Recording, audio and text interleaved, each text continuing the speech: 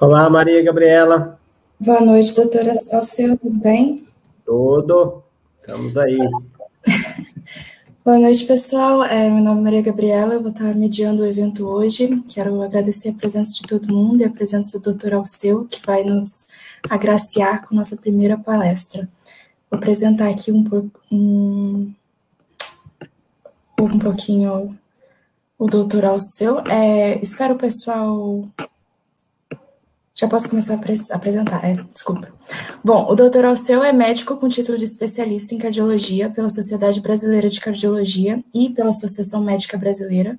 Ele é médico cardiologista do Corpo Clínico do Hospital da Beneficência Portuguesa de São Paulo e do Hospital Vaz Monteiro de Lavras, com experiência em pré e pós-operatório de cirurgia cardíaca, inclusive transplante cardíaco. Ele é autor de várias pesquisas científicas publicadas em revistas nacionais e internacionais e possui mais de 20 anos de experiência em técnicas alternativas e opções terapêuticas às transfusões de sangue. Além disso, ele também é autor do site bloodless.com.br.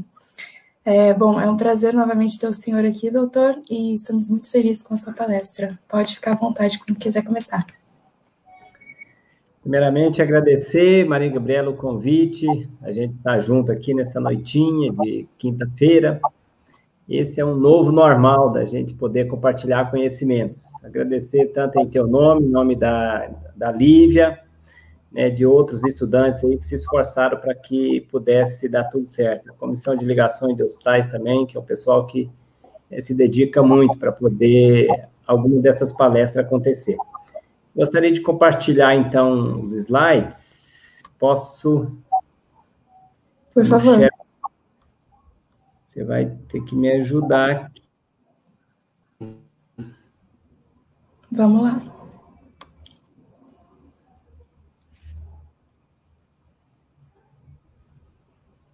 Espera só um minutinho aqui.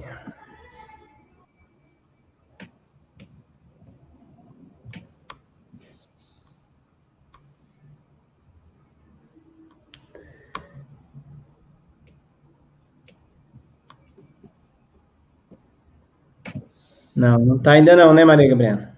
Ainda não, doutor. Espera aí, deixa. Tem que ir no share screen, depois que cada um é diferente aqui. É, share screen. Peraí. A tela tem que estar tá aberta, não é? Isso. E aí o senhor clica para selecionar.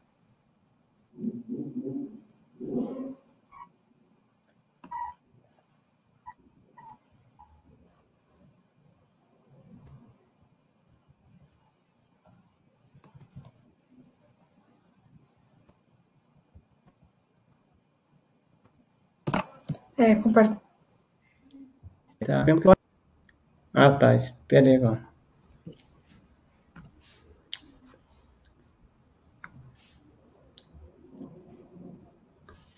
Agora.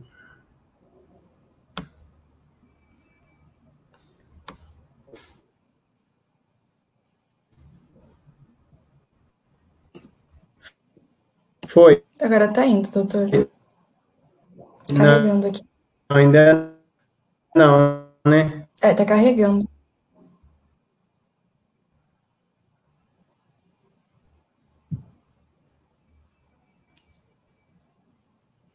Foi?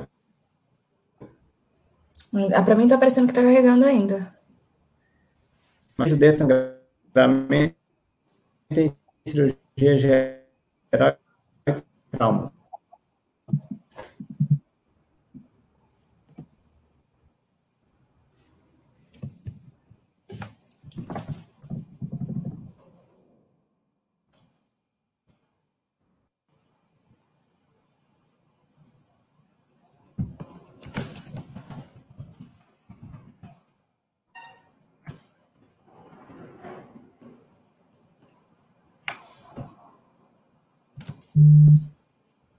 É, o doutor Alceu travou, até vamos dar um. Será que é a um internet, hein?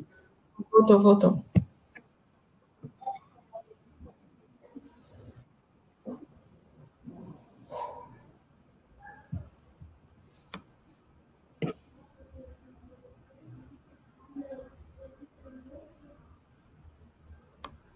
Não, ainda não foi, ainda não.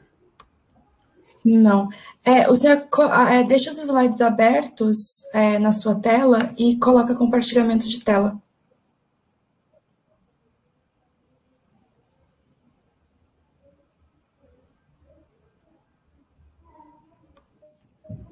Ah.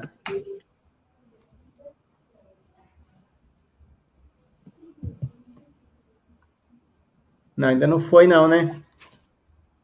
Ainda não. É, o senhor está com os slides abertos na é, sua tela? Tô. Uhum. E aí agora, agora o senhor entra em share screen.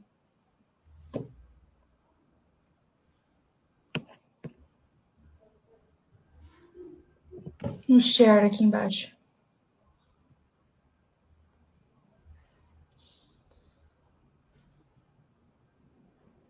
Mas engraçado, a hora que eu coloco aqui, aparece a tua tela embaixo e, eu, e a minha telinha. Como? A hora que aparece. Ah, deixa eu ver se.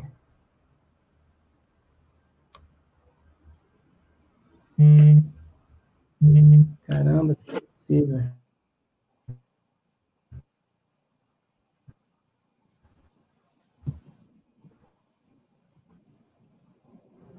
Peraí, que eu acho que foi agora. Não, não foi. Será que eu tenho que. Ela tem que estar tá no. no... Espera aí. Eu acho que ela tem que estar, tá, não, não é totalmente aberta, não, né? Ela tem que estar. Tá... Tem que ser aqui a janela do aplicativo.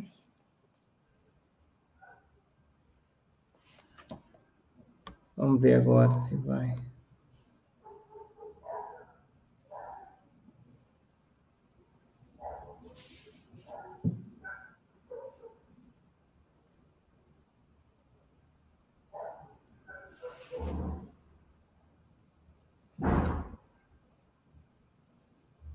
Quando eu clico aqui, quer ver?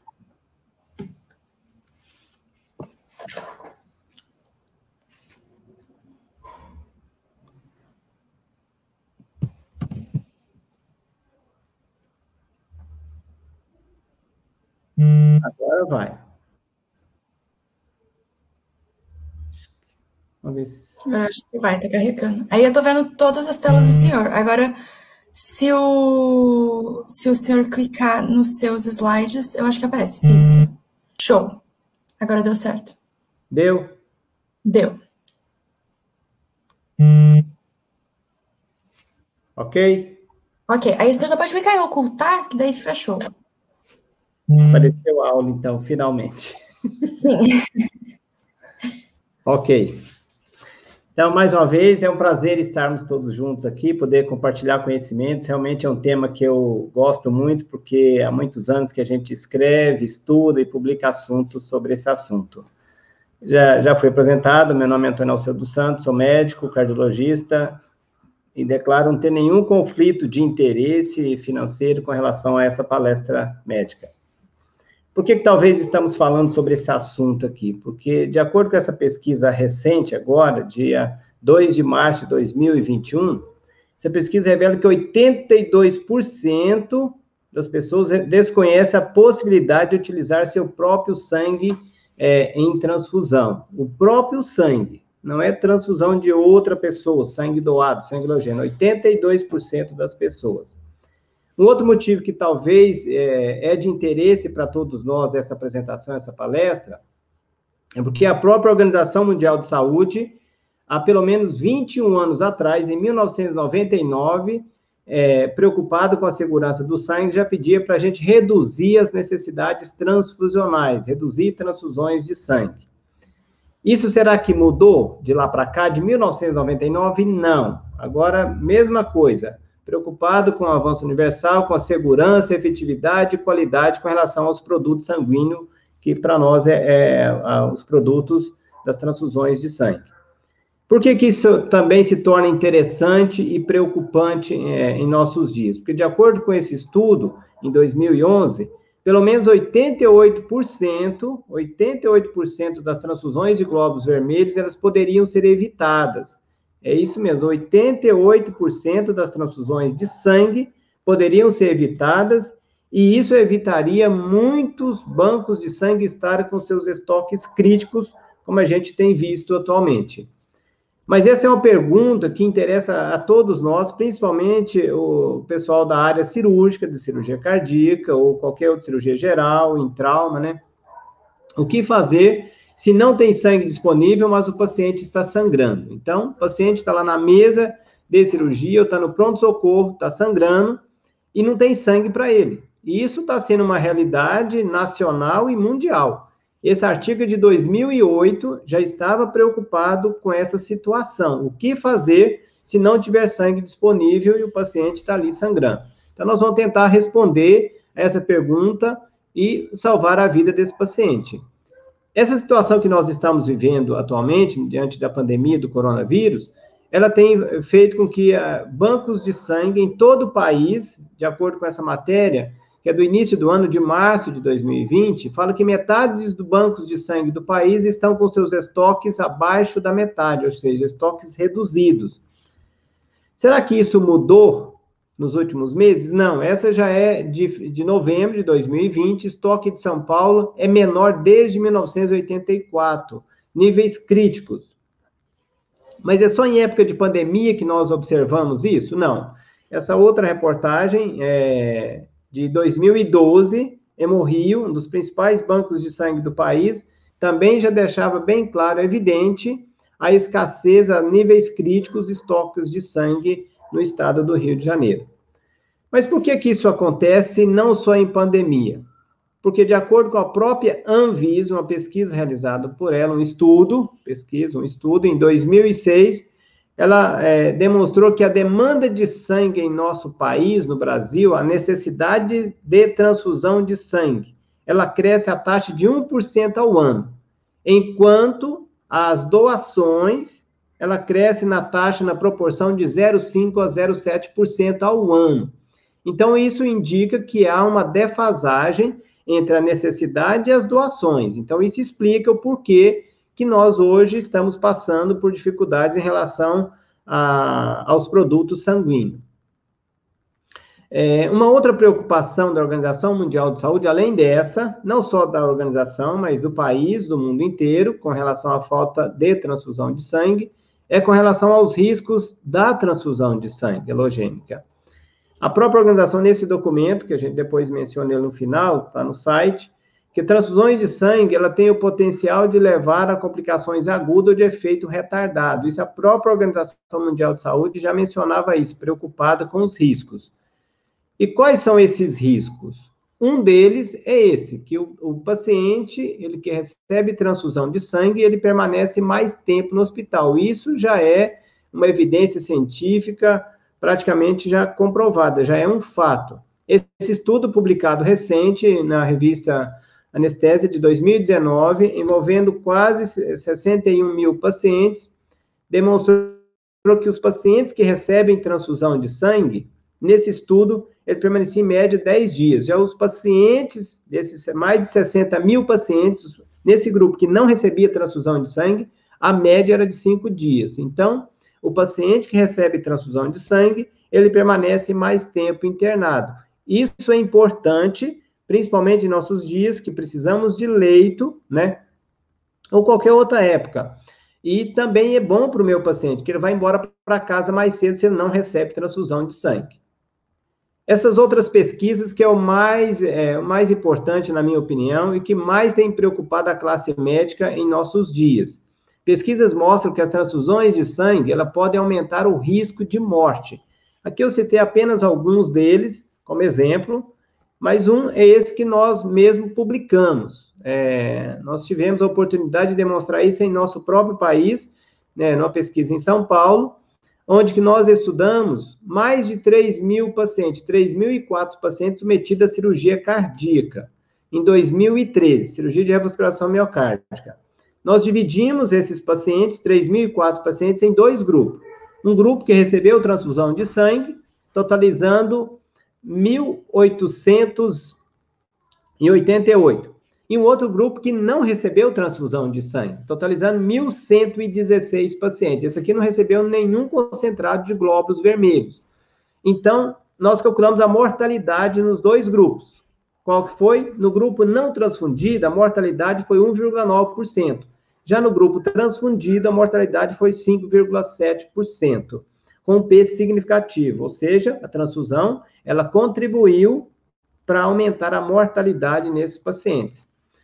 Também há um questionamento que nós conseguimos responder nesse estudo, que o paciente que recebe sangue, é mais grave, por isso acaba morrendo mais, é a maior mortalidade. Mas não é bem assim não, porque de acordo com essa pesquisa nossa, é, dos mil, melhor dizendo, dos 188 pacientes que não recebeu transfusão de sangue, foi zero mortalidade em 30 dias, em um mês, se tratando de pacientes com menores comorbidades, ou seja, com Euroscore menor ou igual a 2, esse paciente praticamente é, não tem nenhuma comorbidade, ou se tem, é um fator de risco só, como hipertensão diabetes, e são pacientes relativamente jovens. Então, resumindo, se o paciente é jovem, com uma ou nenhuma comorbidade, a chance dele morrer se ele não receber sangue é zero. Já se ele recebe transfusão de sangue, olha para quanto que vai a, a chance, a taxa de mortalidade, para 7% em 30 dias e 10% em 30 dias. Então, podemos dizer que a transfusão é um fator de risco independente para aumentar a mortalidade nesses pacientes. Esse outro é, é uma das pesquisas, é um dos estudos mais lido hoje com relação a essa área, quando a gente vai estudar eficácia das transfusões de sangue, não tem como você não deparar com esse estudo, porque é um dos principais hoje no mundo, é uma revisão sistemática da literatura que envolveu quase 300 mil pacientes. E ele avaliou realmente a eficácia das transfusões de sangue. Desses é, quase 272.596 pacientes, totalizaram 45 estudos.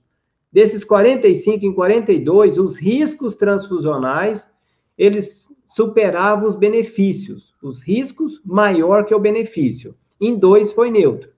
E desse uma subanálise de 18 estudos que avaliaram a mortalidade relacionada às transfusões de sangue, em 17 as transfusões foi indicativa de mortalidade. E isso numa população de quase 300 mil pacientes. Bom, naquele estudo que nós publicamos em 2013, nós queríamos então saber se é, a mortalidade era relacionada com o número de bolsas de unidades de sangue que o paciente recebia.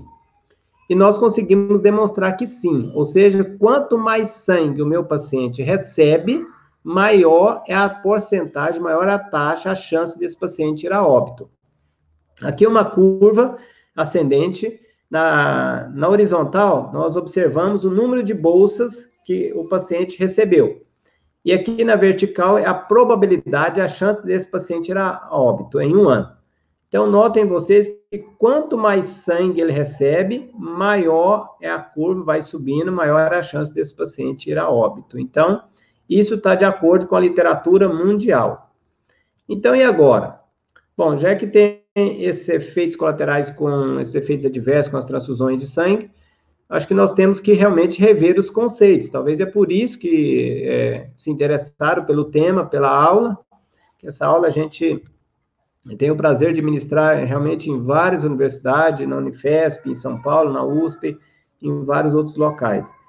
Então, um dos, dos critérios que a gente tem que rever esses conceitos é o seguinte, que a transfusão de sangue, ela não foi avaliada até hoje pelo FDA, ou seja, ela ainda não passou pelos critérios de segurança e eficácia pelo maior órgão regulador de medicamentos e procedimentos, pelo Food and Drug Administration. Então, é, não tem o aval do FDA com relação à sua segurança e eficácia. Outro, porém, relacionado à transfusão de sangue, que não temos nenhum estudo clínico randomizado, de acordo com esse colega, Dr. Carson, e realmente não temos, comparando transfusão de sangue e placebo. É o que nós temos visto hoje, para lançar uma droga, uma medicação, para provar, por exemplo, que a hidroxicloroquina, ela funciona, tem que ter um grupo placebo, Para provar que a ivermectina funciona no COVID, tem que ter um grupo placebo para a gente comparar. Quem é melhor? Qual responde melhor? Em relação à transfusão de sangue, não temos estudos randomizados assim. O paciente está sangrando. O que, que nós vamos utilizar? Aquilo que nós vamos ensinar aqui hoje, as estratégias alternativas, tudo que temos disponível para parar um sangramento, ou então vamos utilizar é, a transfusão de sangue, ou até mesmo placebo, né? Então, não temos estudos assim. O que temos na literatura, cada vez mais, são estratégias restritivas de tratamento com relação à transfusão de sangue. Cada vez mais se abaixa a, a, o gatilho para indicar uma transfusão de sangue. Antigamente, 1940, valia-se a regra 10-30, ou seja, paciente caiu hemoglobina abaixo de 10 é igual transfusão, 1940. Infelizmente, até hoje,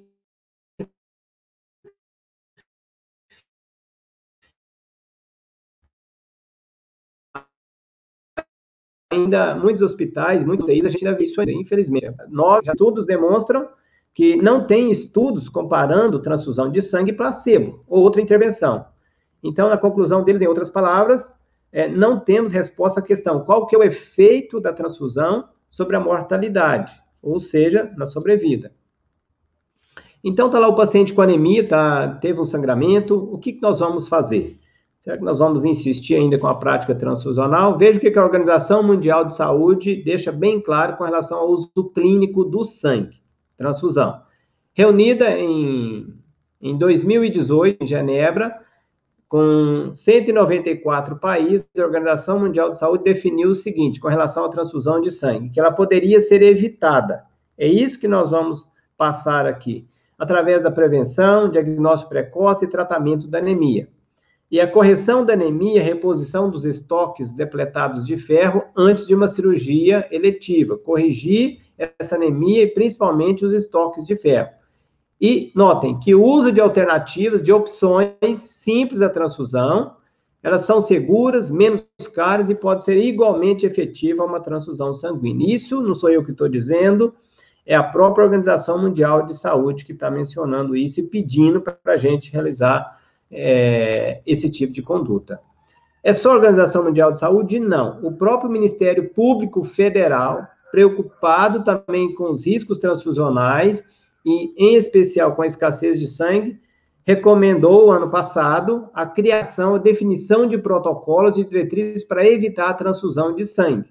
Exatamente isso que estamos tratando aqui hoje.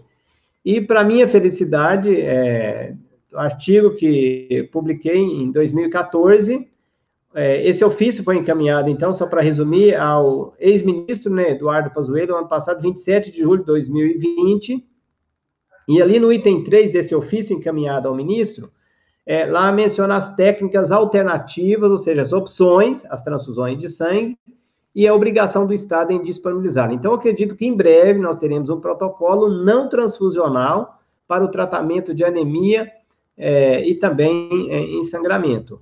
E, é, conforme mencionei, para a felicidade, uma das referências mencionadas nesse ofício é um artigo que nós publicamos é, em 2014 na Revista Brasileira Cirurgia Cardíaca. E é esse é o artigo que nós vamos mencionar agora, que é as opções terapêuticas para minimizar transfusões de sangue halogênico e seus efeitos adversos em cirurgia cardíaca. Embora seja cardíaca, mas por ser uma revisão sistemática, ele se aplica a várias outras cirurgias gerais. Nesse artigo, nós reunimos nessa, nessa tabela, aí na página 610, o objetivo não é ler, que realmente não é para ler, é só para saber que no artigo, ele é, lá na página 610 tem essa tabela que resume praticamente todo o artigo. Né? São 16 páginas, mas resumidas aí nessa tabela. É, na, na tabela da esquerda, menciona como tratar uma anemia, na central aqui, como minimizar a perda de sangue, e na última, como o médico pode cooperar com o paciente que está com anemia, quer pós-cirurgia, quer no trauma. Então, está lá o paciente com anemia, o que, é que eu tenho que fazer? Tratar. Tem muitos colegas que assim, não, isso aqui tem que dar sangue. Primeiro, é, conduta, vamos tratar. Com ferro, ácido fólico, vitamina B12, Mas temos algo a mais para isso, ou seja, é, saber tratar que tem que dar ferro, sim. Mas e como tratar isso? Então, é isso que nós vamos apresentar é, nessa aula. Por que, que isso é importante também? Porque 2 bilhões de pessoas hoje no planeta estão com anemia. 2 bilhões, quase um terço da população mundial hoje está com anemia. É o que esse estudo, essa outra pesquisa demonstrou em 2010. É, a prevalência global de anemia é cerca de 32,9%. Ou seja, de cada três pessoas hoje no planeta, praticamente uma está com um certo grau de anemia.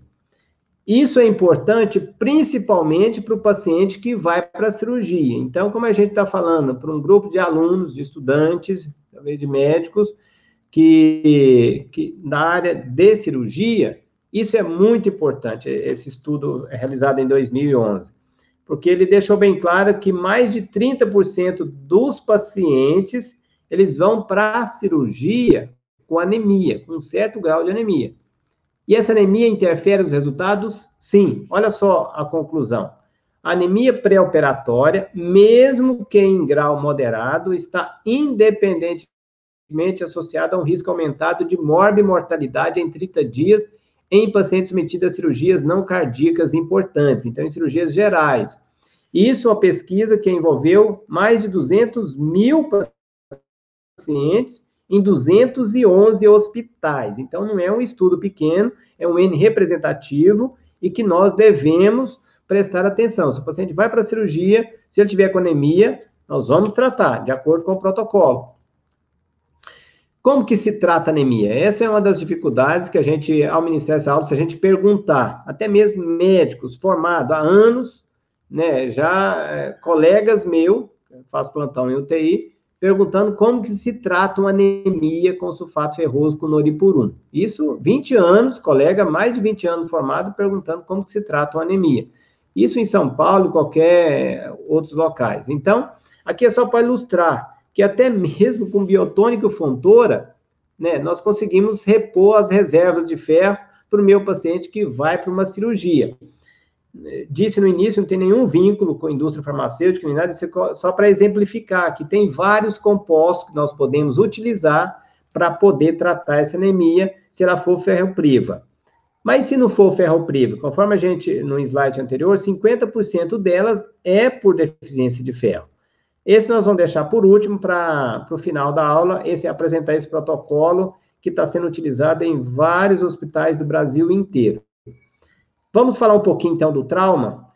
É, embora isso aqui é um tema de uma aula única, né, para a gente poder falar, esclarecer melhor, mas vamos tentar resumir um pouquinho aqui. No sangramento, é muito importante nós medirmos a pressão arterial do paciente. Esse paciente, ele tem que estar mais para hipotenso do que hipertenso. Se ele tiver hipertenso, jamais conseguiríamos parar um sangramento. Então, o médico, o atendente, é, um paciente, um politraumatizado, mede a pressão, e às vezes se esquece disso. Se ele tiver hipertenso, tem que abaixar essa pressão dele para ele parar, diminuir a pressão, vamos dizer assim, de vazamento, na linguagem mais popular, né, dos vasos sanguíneos, para evitar a pressão de, de vazamento ali. Então, a PAM de 50 a 65, ou uma sistólica de 80 a, a 90. Um aparelho muito utilizado, uma máquina muito utilizada hoje em nossos dias, é a recuperação sanguínea intraoperatória, principalmente nos Estados Unidos, em hospitais é, em desenvolvimento, menos, mas nos, pacientes, é, nos hospitais desenvolvidos, em maior quantidade, principalmente nos Estados Unidos, em a maioria dos pronto-socorros já tem essa máquina, é, cada vez ela vai simplificando, essa máquina ela recupera o sangue que seria perdido, quer no trauma ali, aquele, aquele sangue que está sendo desperdiçado, indo para a lata do lixo, essa máquina ela consegue aspirar, sugar esse sangue, é, né, ainda não é o filmezinho, sugar esse sangue e devolver ao paciente, conforme está mais ou menos na ilustração. Aqui está sugando, né? Filtra e depois devolve. Em trauma pode ser utilizado? Sim, de acordo com esse estudo, é, o Cell Saver é uma alternativa à transfusão de sangue halogêneo em pacientes traumatizados. Então, demonstrando que o sangue que poderia, é, que seria perdido, essa máquina recupera.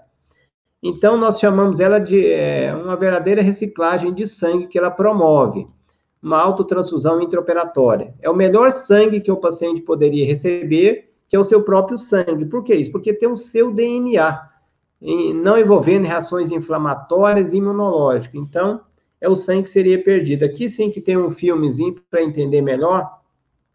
Acredito que todos estão vendo aí. Então, esse sangue aqui é o sangue que é aspirado, que é sugado do campo cirúrgico ali que está se perdendo, ou então do paciente que está é, politraumatizado, né? Esse sangue é, vai para uma bomba centrífuga, as impurezas, tudo que é, é que as impurezas mesmo, os resíduos, vai para uma outra, e o sangue lavado é, purificado, vamos dizer assim, ele é devolvido ao paciente através de um outro circuito. Então, esse é o melhor sangue realmente, que é o teu próprio sangue. É aquilo que a gente mencionou no início: 82% das pessoas desconhecem essa estratégia. Como parar um sangramento com drogas, com medicações, é, tanto é, em cirurgia geral como no trauma?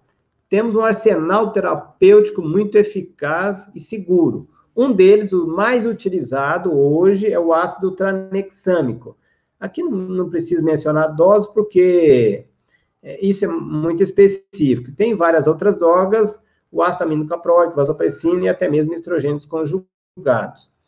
O ácido tranexâmico, ele é o principal hoje em nossos dias, é uma droga, não é dispendiosa, é, que praticamente todos os hospitais e pronto-socorro têm. O que a maioria dos colegas médicos que a gente observa é saber utilizar a dosagem. Qual que é a dosagem que é eficaz para parar um sangramento? Muitas vezes de uma ampolinha 250 acho que vai resolver. Não vai. Aqui, então, esse artigo é, médico de, demonstra que podemos usar até 150 miligramas por quilo, que vai dar mais de 2 gramas, vamos dizer assim, de, do ácido tranexâmico, numa velocidade de 50 miligramas por minuto. Esse outro estudo também é outra evidência que ele é muito utilizado para parar sangramento em pacientes traumatizados.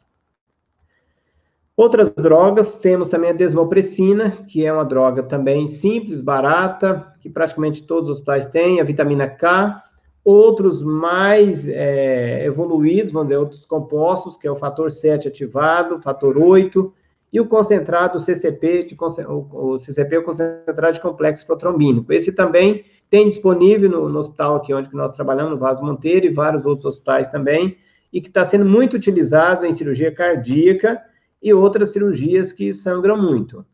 É, isso aqui, eu escrevi esse artigo para essa revista Foco Hospitalar, que é mais para distribuição em hospitais mesmo. Como que o manuseio não transfusional do sangramento mediante o uso desse concentrado de complexo protrombínico, demonstrando que ele é eficaz e cientificamente correto.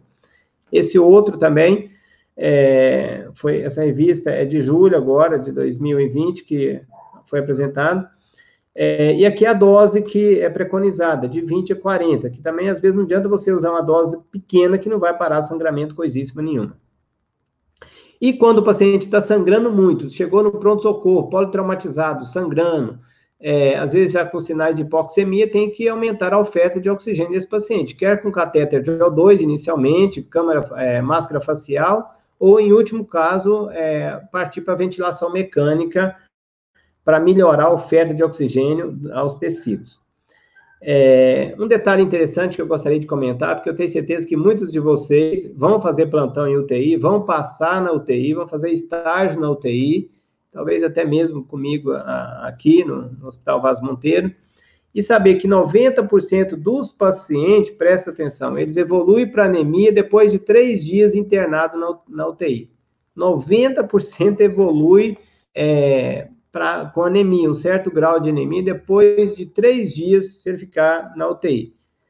Como que nós podemos evitar isso? Minimizando a perda de sangue. Nós temos que reduzir as flebotomias rotineiras. Isso é rotina. Muitos UTI têm uma rotina de colher sangue de manhã, de tarde, de noite. E não é 2, 3 ml, não. São 10 ml é, para poder é, fazer os testes laboratoriais. Então, reduzir tanto no número de coletas como na quantidade que se vai coletar. Por isso que nós pedimos essa microcoletagem. Então, se o pessoal do banco de sangue não entender, ou melhor, do laboratório não entender, nós pedimos para coletar em tubos pediátricos. Isso vai evitar muito sangue desperdiçado. É o que esse artigo, esse estudo demonstrou. 25 milhões de litros de sangue vão para o esgoto todo ano. 25 milhões, todo mundo.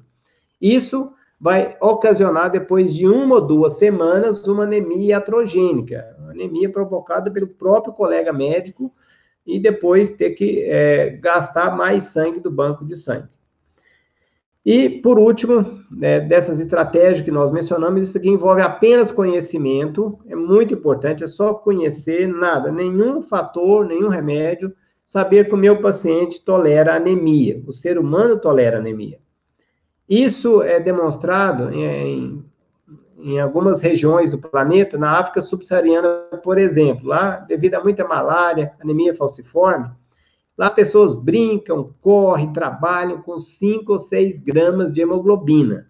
O normal, nós sabemos que é acima de 12, 13. Então, pessoas lá brincam, correm, trabalham com 5, 6 gramas de hemoglobina. Aqui no Brasil, com 7 ou 8 de, gramas de hemoglobina, dependendo da UTI que tiver, já está em risco iminente de morte. Então, se o paciente está bem, está estável, está brincando, está lá escrevendo, por que não evitar uma transfusão de sangue? Foi isso que nós, é, um artigo, que nós, artigo não, melhor dizendo, um relato de caso que publicamos nessa revista internacional, é, o paciente chegou até 2,9 de hemoglobina, mas ele estava lá escrevendo no seu tablet, estava conversando consciente. Para que indicar uma transfusão de sangue se ele está estável, está clinicamente bem? Tratamos ele, um pós-operatório complicado de cirurgia cardíaca, tratamos com as alternativas, esse paciente foi embora para casa depois de 20 dias com 9,1 de hemoglobina. Como que nós tratamos, para finalizar essa aula? Aí que vem, talvez, a parte principal dessa aula, através de um protocolo é, cientificamente correto e eficaz para se tratar uma anemia, e as diretrizes para com a eritropoetina. Então, esse protocolo, é, é, ele foi muito bem elaborado, demorou quase dois anos para ele ficar pronto, é, tive o privilégio de ter outra, outras duas hematologistas, é, uma das principais hematologistas do Brasil, a doutora Selma e a doutora Alana.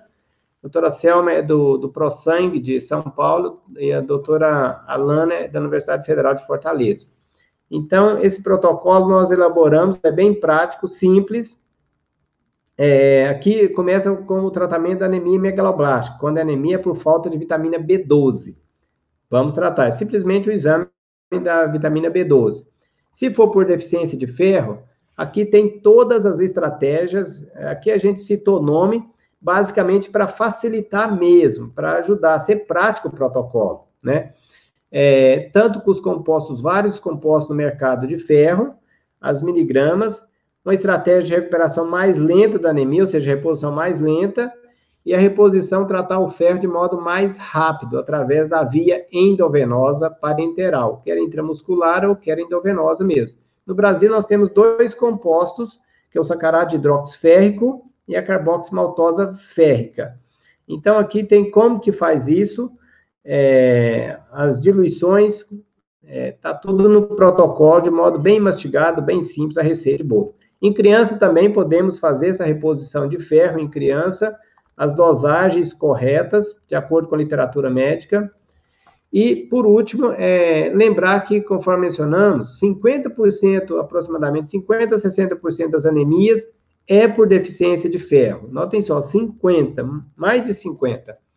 A outra metade não é por deficiência de ferro. E, às vezes, nós temos que lançar a mão de uma medicação muito utilizada, descoberta para tratar anemia em 1988, 90% de produção renal e 10% hepática, chamada eritropoetina. Tem os compostos sintéticos, alfa-poetina e beta-poetina. Então, essa medicação, inicialmente, ela foi descoberta para tratar anemia da insuficiência renal, e viu que se evitava muita transfusão, porque o paciente renal crônico, ele produz muito o hormônio, é, melhor dizendo, produz pouco. O paciente com insuficiência renal, produz muito pouco é, o eritropoetinogênio, que se transforma em eritropoetina. Então, ela existe a forma sintética para tratar a anemia desses pacientes. E hoje é utilizada em praticamente em todos os cenários dos pacientes com anemia. Então, nesse protocolo,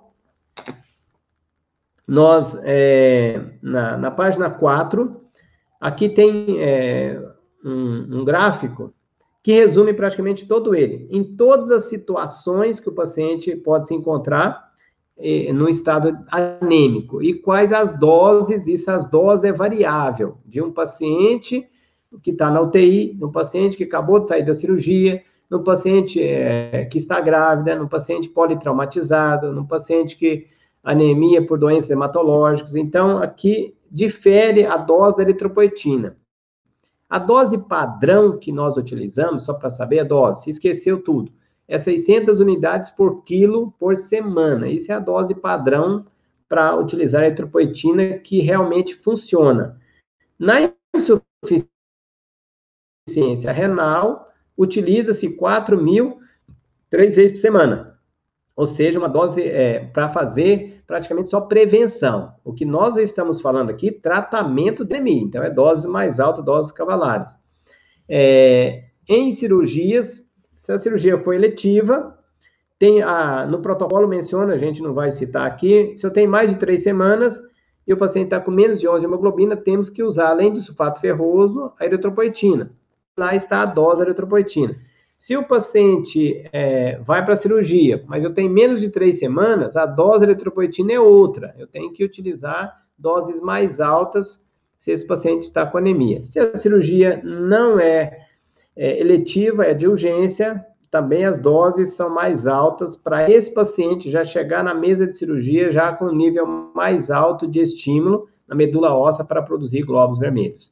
Bom, é, para finalizar essa apresentação, onde que eu encontro esse protocolo? Se você perdeu essa aula ou então gostaria de acessar o protocolo, é, ele está no site, embora tenha ele, até que ainda tem alguns exemplares. Depois, se alguém tiver interesse e quiser pegar comigo no, no consultório, no hospital, lá no Faz Monteiro, é só mencionar. Mas ele existe, é, o protocolo, hoje praticamente distribuído em todo o Brasil.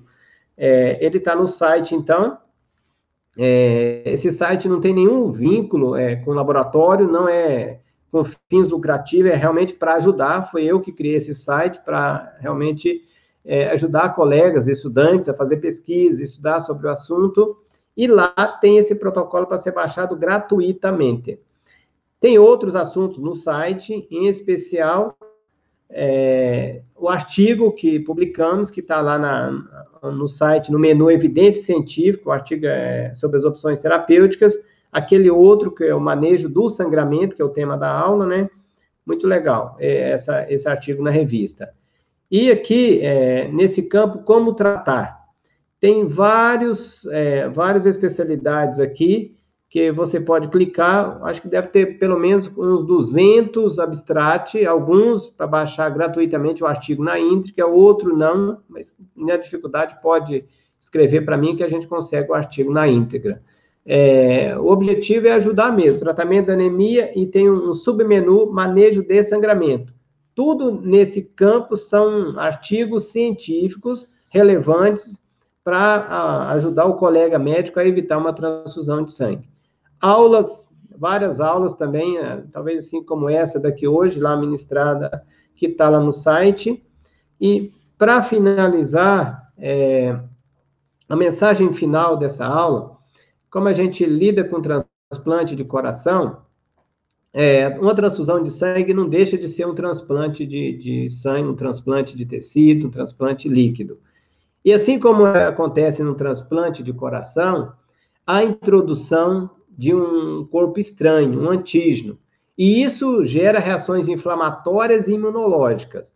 O sangue também não é diferente, é um corpo, é um antígeno estranho que está sendo introduzido naquele paciente. E vai gerar, com certeza, as reações inflamatórias e imunológicas. Não existe dois sangues iguais com o mesmo DNA, assim como não existe dois corações iguais com o mesmo DNA. Então, fica a dica a orientação de, antes de indicar uma transfusão de sangue, devemos pensar, devemos raciocinar se aquele paciente realmente precisa daquela transfusão de sangue. Porque, conforme dissemos no início, 88% das transfusões de sangue ela poderia ser evitada. E isso faz parte de um grande médico, conforme essa frase aí para encerrar, William Osler, um colega médico nosso, o bom médico trata a doença, mas o grande médico trata o paciente que tem a doença. Então, olhar o paciente primeiro como um todo e não um exame laboratório e já indicando uma transfusão de sangue. Era isso que tinha para falar. Mais uma vez agradeço o privilégio de estar aqui, poder compartilhar esses conhecimentos. É, em nome de todos aí que fizeram o convite, muito obrigado. É um prazer a gente estar junto.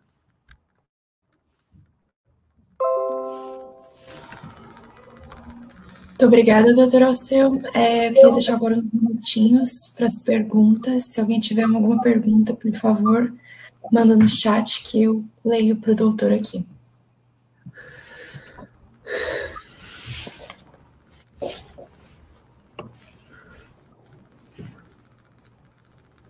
Falei muito rápido, Gabriela? Imagina, foi ótimo. Agradeço. Explicativo, depois ainda vou dar uma checada no, no site do senhor para aprender mais um pouquinho. É, chegou a primeira pergunta aqui do Júlio. Perguntou se o tratamento com EPO pode ser concomitante com a correção de deficiência de ferro ou de B12. Excelente pergunta, Júlio. É, por quê? Porque a eritropoetina ela sem é, o uso do ferro, se o paciente estiver com deficiência de ferro, Júlio, a eritropoetina não funciona, ou vai funcionar muito pouco. Por isso que é, é bom sempre checar os níveis de ferro e, da ferritina, porque a ferritina que vai indicar, que é um exame laboratorial, né, que a gente é, pede, se a ferritina estiver baixa, nós temos que fazer a reposição de ferro, inclusive, primeiro, se for possível. Mas se você estiver muito anêmico, é, já dá junto. Você faz o ferro EV para adquirir concentrações mais rápidas, né? Que o ferro oral demora um pouquinho mais a, a fazer essas reposições. Aí você faz o ferro EV ou intramuscular e faz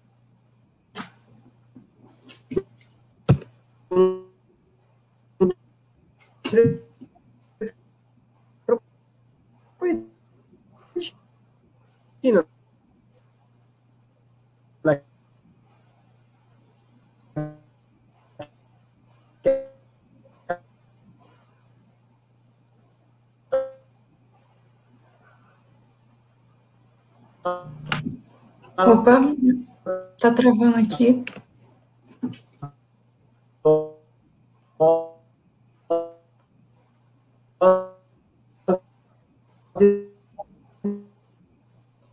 Esperar um minutinho, pessoal. Opa,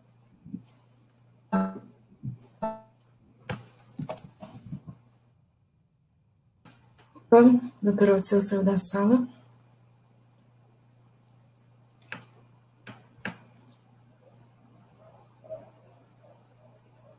Esperar uns minutinhos ele voltar e aí ele continua a responder a sua pergunta, tá, Júlia? Júlia, desculpa. Se alguém tiver mais perguntas. Oi, Gabriela. Oi, doutor, caiu? Caiu, não sei o que aconteceu, a internet aqui. Acontece, Mas... não tem problema. É, uns minutinhos antes, é, a conexão começou a travar muito. Aí, se o senhor ah. puder partir de um pouquinho antes de ter caído. A aula conseguiu? Toda a aula? A aula não caiu, não, né? A aula não caiu, foi ótima. Ah. Agora no finalzinho, que a, no meio da pergunta que travou. Ô, Ju, no meio da resposta. Então, deixa eu, deixa eu explicar aqui. Então, repetindo mais rápido. Então, é, a eritropoetina, ela não funciona num cenário de deficiência de ferro do paciente. Então, o primeiro passo, antes da eritropoetina, é, dê sulfato ferroso, de ferro, qualquer um dos compostos, de preferência por vinda venosa. Tem alguns casos de anemia, anemia hemolítica, alguns outros, Falcone, que já cursa com excesso de ferro. Nesses casos, não, aí não precisa fazer reposição. Claro que não, você vai dar só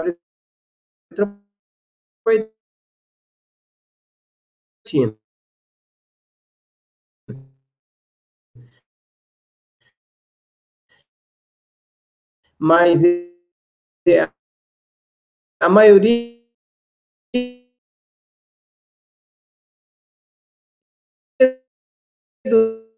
dos estudos quer dizer, 100% deixa bem claro. Oi, Gabriela, de novo. Conseguiu? É, não, começou a travar uns dois minutos atrás. Dá tempo de responder de novo? Claro, por favor. Vou ver se não trava agora. Então, Júlia, é o seguinte: a eritropoetina ela só funciona num cenário que o paciente está com suas reservas de ferro é, normal bem próxima do normal. Não resolve a gente dar eritropoetina se o paciente tem deficiência de ferro. Então, ela pode ser usada, deve ser usada concomitantemente com a correção da deficiência de ferro. Essa pergunta é muito importante, porque se nós dermos eritropoetina e não der ferro, é pouco provável que esse paciente vai ter uma resposta satisfatória, porque a matéria-prima para fabricar glóbulos vermelhos tem que ter ferro, tem que ter vitamina B12 e ácido fólico. Então, temos que fazer é, essa reposição em conjunto. Em alguns casos de anemia, em alguns casos de anemia, anemia que cursa com excesso de ferro, anemia hemolítica, anemia de Falcone, outras, nesses casos, não. Aí você não vai dar ferro, porque já está com reserva de excesso de ferro.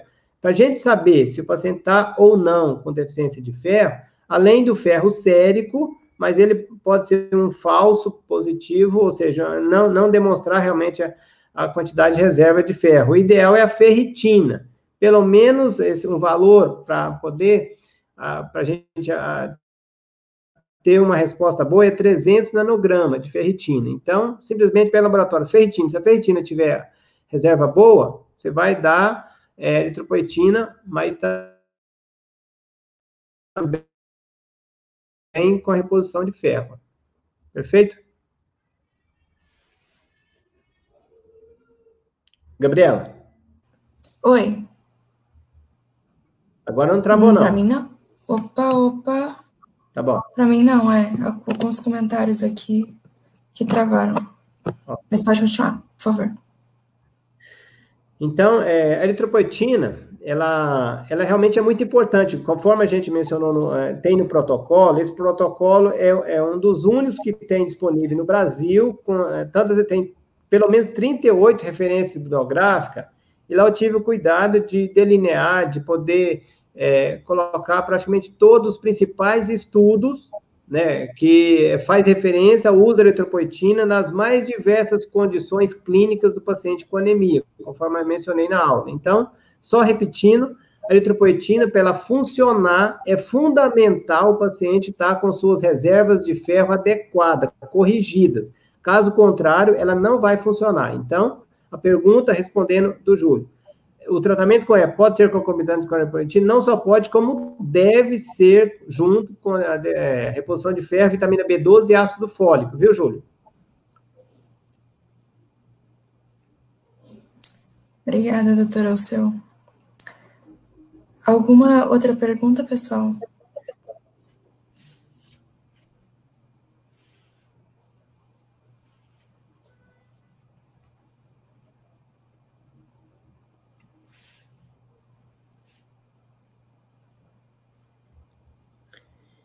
No site, depois, vou falando isso enquanto tiver aí.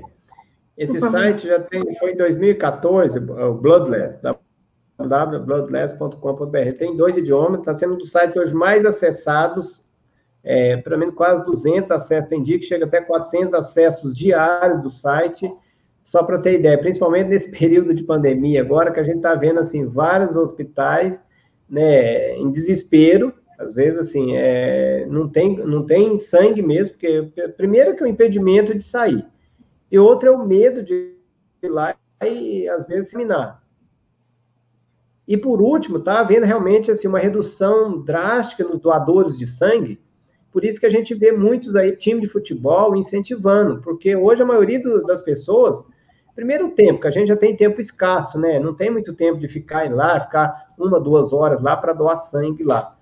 E, e também, assim, as pessoas é, que doam sangue cá entre nós são os mais simples, né? E os mais simples hoje está situação delicada, tem que trabalhar, tem que correr atrás do, do prejuízo. Por isso que aquele estudo da Anvisa demonstrou que há desproporcionalidade entre as necessidades e as doações. Então, é por isso que se torna importante a gente conhecer esse assunto, vocês como é, médicos, futuros médicos aí, para evitar fazer um uso mais racional das transfusões de sangue.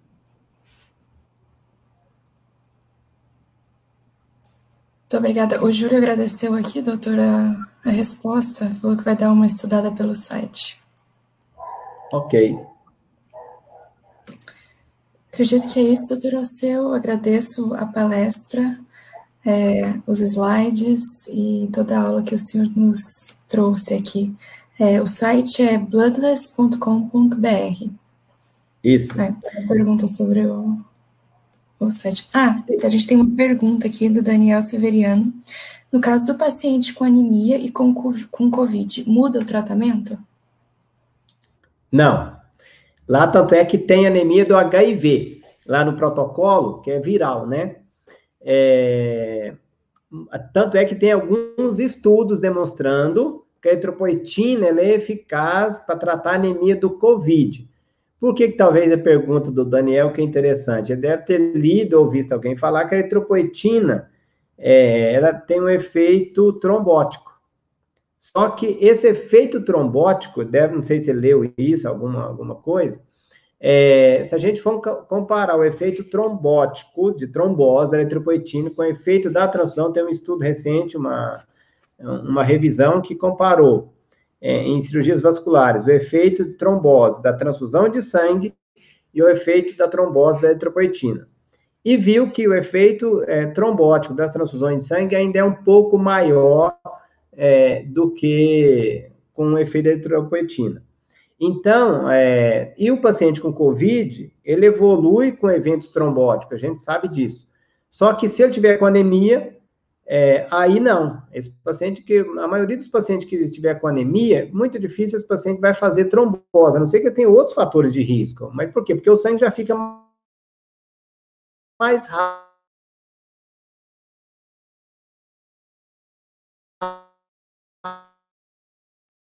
né? Já fica mais hemodiluído esse paciente. Mais importante. Caiu? Não, só deu uma travada. Você pode retomar, por favor? Ah. Então, no paciente que está com anemia mais importante, anemia mais grave, com 5, 6 gramas de hemoglobina por decilitro, esse paciente não vai fazer trombose. Não tem como o sangue está mais rápido, mais hemodiluído. Então, é, não tem nenhum problema, pelo contrário, a eritropoetina, alguns estudos demonstram que ela tem até efeito anti-inflamatório, e demonstrando que ela é eficaz até para reduzir mortalidade no paciente com Covid, com anemia mais importante. Então, não muda o, muda o tratamento com relação à dose, né? Aí a gente não vai usar aquela dose mais alta, uma dose menor, né, para poder tratar essa anemia. Não tem necessidade de você usar doses cavalares de 600 unidades por quilo, igual está no estudo lá, no protocolo, são doses menores.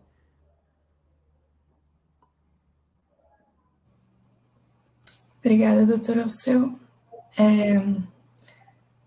Tem uma pergunta aqui, só não sei se eu entendi bem, Tiago, se você puder escrever de novo, por favor. É, doutor, por que os médicos, a maioria, é, relutam. Na maioria das vezes, relutam na medicina alternativa às transfusões. É, pelo que eu entendi, por que, que faz mais transfusão do que os métodos alternativos? É isso, não é? Porque os médicos, sim, na maioria das vezes, sim. relatam na medicina. Tá. É, é, embaixo. Relatam na medicina alternativa das transfusões. É, eu acho que, pelo que eu entendi da pergunta, é isso. Por que, que transfundem mais e usam menos as alternativas? É isso, deve ser, não é isso? Bom, Tiago, é, pelo que eu entendi, qualquer depois eu respondo, você me ajuda aí também. A prática transfusional hoje é muito simples, é muito prática. Né? Você, o paciente está lá na UTI com anemia, é, quem é médico e está assistindo sabe que é exatamente assim. Ou então vocês que vão aprender ainda, é para você prescrever uma transfusão de sangue. Vejam só, você coloca lá assim, ó, é, dois concentrados, mas você vai escrever assim, 2CH EV agora. 2 CH, concentrado de hemácia, EV agora. Isso era lá, lá em São Paulo, na Beneficência Portuguesa. Viu como é prático? 2 CH, abreviatura de concentrado de hemácias, EV, abreviatura de endovenosa, agora. Muito simples e prático para assim, aí o médico prescreve, vai embora para casa e deixa tudo com a enfermagem, com o pessoal da UTI. Então, a, já a, a, medicina alternativa, agora é isso mesmo. Então, a medicina alternativa, ela envolve mais ciência, tem que ter conhecimento, né? Você tem que conhecer a dose do sulfato ferroso, como que usa, essa eritropoetina. Se for fazer uma enquete com, com 100 médicos da UTI, eu tenho certeza que pelo menos 30, 40%, se brincar, não conhece eritropoetina, e 90% não vão saber usar eritropoetina na dose correta. Então, é isso, a, a, talvez, a relutância em utilizar a medicina, a, as opções terapêuticas, eritropoetina e sulfato ferroso, que são essas duas drogas principais. Não tem muito segredo, né? Porque a anemia megaloblástica por deficiência de vitamina B12, ela é mais, é, mais rara, vamos dizer assim. É mais difícil a gente encontrar. Agora, por sulfato ferroso, é 50%, e as outras é que envolve o tratamento da eritropoetina. Então, é, a praticidade da prática transfusional, de você tran, é, prescrever uma transfusão de sangue, é muito fácil, muito simples. E praticamente não envolve muito conhecimento, não. Lá, até uma enfermeira, ela já te liga de noite, de madrugada, ela vê o exame, você pede o exame laboratorial. Se ela, enfermeira, viu lá de madrugada, é, ah, tá com sete hemoglobina. Ô, doutor, tá com sete hemoglobina. Ah, não, prescreve aí. Leva lá, manda o médico pronto-socorro, da UTI prescrever lá dois concentrados. É ver agora. Então, basicamente é por isso. Mas aulas como essa abre a mente, abre, é, envolve conhecimento. Então, é, isso é muito legal. Por isso que eu tenho prazer em ministrar essas aulas e o pessoal me acha para poder. Dia 27 eu vou dar uma aula para um grupo, de, essa aula que está no site, no Bloodless lá, foi uma aula que a gente ministrou para o grupo de anestesistas Servan, lá em Campo Grande, mais de 60 anestesistas. Dia 27, agora eu vou dar uma outra aula para mais de 40, acho que é 50 anestesistas, querendo aprender sobre as estratégias de como evitar uma transfusão de sangue, igual essa aula praticamente. Excelente. É, a gente tem alguma mais Três perguntinhas aqui, doutor. Aí a pergunta do Valdecir vai ser a última, tá bom, pessoal? É, bom, o Davi perguntou se o paciente com insuficiência renal e diminuição da hemoglobina demanda EPO mais urgente ou seria a mesma urgência do paciente sem insuficiência? Não, pelo contrário. O paciente com insuficiência renal, se ele não for para cirurgia, se ele não é um paciente cirúrgico, o paciente com insuficiência renal, ele aprendeu a tolerar anemia, ele vai aos poucos. Então, é igual aquele paciente lá da África que tolera anemia com malária, com anemia falciforme. Então, nesses casos, não precisamos corrigir rapidamente a anemia desse paciente. Temos que dar ferro, agora a pergunta do Júlio, dar o sulfato ferroso, que era oral, EV, e em seguida a gente vai corrigindo é, gradativamente essa reposição da eritropoetina, porque ele tem deficiência do eritropoetinogênio, conforme a gente já mencionou. Então, não é mais urgente. O paciente que necessita de doses mais altas da eritropoetina, gravem isso, é o paciente que vai para cirurgia. Esse paciente precisa, talvez, de é, um conhecimento maior para a gente corrigir o estado anêmico desse paciente mais rápido, para ele não chegar na mesa de cirurgia com anemia porque conforme a gente mencionou, 30% vão para a cirurgia com anemia. Então, corrigir esse estado anêmico. Muito obrigada, doutor. É, pergunta do Ivan. Doutor Alceu, alguém chega de um acidente no hospital e já pensa em bolsa de sangue. Quais etapas seriam importantes pensar? Ah, entendi. Então, Alguém que chega de um acidente no hospital, imediatamente o pensamento médico já é na bolsa de sangue. O que, que o senhor aconselha, acredita que é o mais correto? Quais etapas devem ser pensadas primeiro? Ivan, também eu pergunto, o pessoal tá, prestou atenção na aula mesmo, tá de parabéns, são perguntas interessantes. Bom, Ivan, é o seguinte, é, realmente, assim, o primeiro ponto o paciente chegou lá, não tenho dúvida que já vai pedindo bolsas de sangue. Mas primeiro você tem que avaliar os sinais vitais desse paciente, né, ver se ele está estável, está bem, aquilo que eu mencionei. O primeiro ponto, é, além de qualquer coisa, né, tentar estancar esse sangramento. Você viu o ponto que está sangrando, põe gás, torniquete, é, ali tenta parar, dá ponto, vai dar um jeito de estancar esse sangramento. Porque se ele chegou vivo ali, é porque ele tolerou até aquele momento o estado de anemia. Então, cabe a você, como médico, como cirurgião, como plantonista ali do pronto-socorro, tentar urgentemente parar esse sangramento. E aí, é, medindo pressão, deixando ele mais hipotêncio possível, sem comprometer órgãos vitais, deixar mais a hipotência, é, levar membros é, que está sangrando, né, se for membros inferiores, levantar para ele ficar no nível, sempre protegendo órgãos vitais. E utilizar o astranexano naquelas doses lá mais altas, de até 150, drogas para é, parar sangramento. Se for lesão vascular, tem que é, estancar isso, é, dar ponto, né, suturar, fazer cirurgia. Num hospital de ponta, hospitais maiores, é, a gente não tem aqui é, o Cell Saver, mas, por exemplo, que está lá em Cristais, lá em Minas, no Ribeirão Vermelho, lá também não tem banco de sangue, né? Tá cidade pequena, então você tem que fazer para esse sangramento o mais rápido possível. Aí tem o arsenal, igual a gente mencionou no, durante a aula, e lá no, no, site também tem lá o manejo de sangramento. Então, é isso. Em último caso, porque quando a gente vai prescrever uma transfusão de sangue, a ideia da transfusão é que ela vai melhorar a oxigenação tecidual. Isso também não tem estudo, grandes estudos demonstrando isso, não, que ela vai melhorar a oxigenação do tecido, vai melhorar a hipóxia tecidual. Então, o que você faz? Põe o catéter de oxigênio para aquelas hemácias, mesmo que seja pouquinho que está lá circulando, já vai, ela vai captar mais oxigênio, liberar mais oxigênio nos tecidos, nos órgãos vitais e otimizar ao máximo a, a, a volemia desse paciente. Esse paciente tem que tem que estar normal volêmico. Então, não deixar esse paciente resfriar, porque eh, se resfriar dificulta o, o, trabalho dos fatores de coagulação, isso também é importante. Deixar esse paciente, de preferência, uma temperatura é, é, né?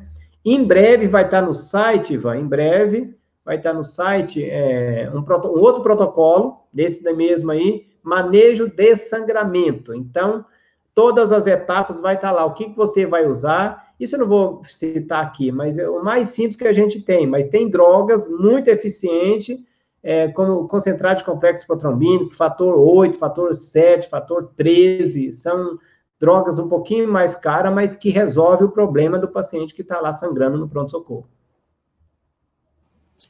Muito obrigada, doutora. Ah, Seu... Desculpa, só para encerrar, o último, hein, Ivan, é, eu não acabei de falar. Em último caso, esse paciente que está sangrando, qualquer coisa, se ele tiver com hipóxia, ventilação mecânica nesse paciente. Vem, põe ele em ventilação mecânica, que você vai estar tá fazendo praticamente o mesmo benefício de uma transfusão de sangue, e aí ele sobrevive. Tá ótimo, obrigada, doutor. É, vamos para a última pergunta, para a gente conseguir dar procedimento ao evento. É, foi do Valdecir. Ele perguntou se os pacientes com os pacientes com diabetes muda o tratamento, se pode se aplicar a EPO nesses pacientes.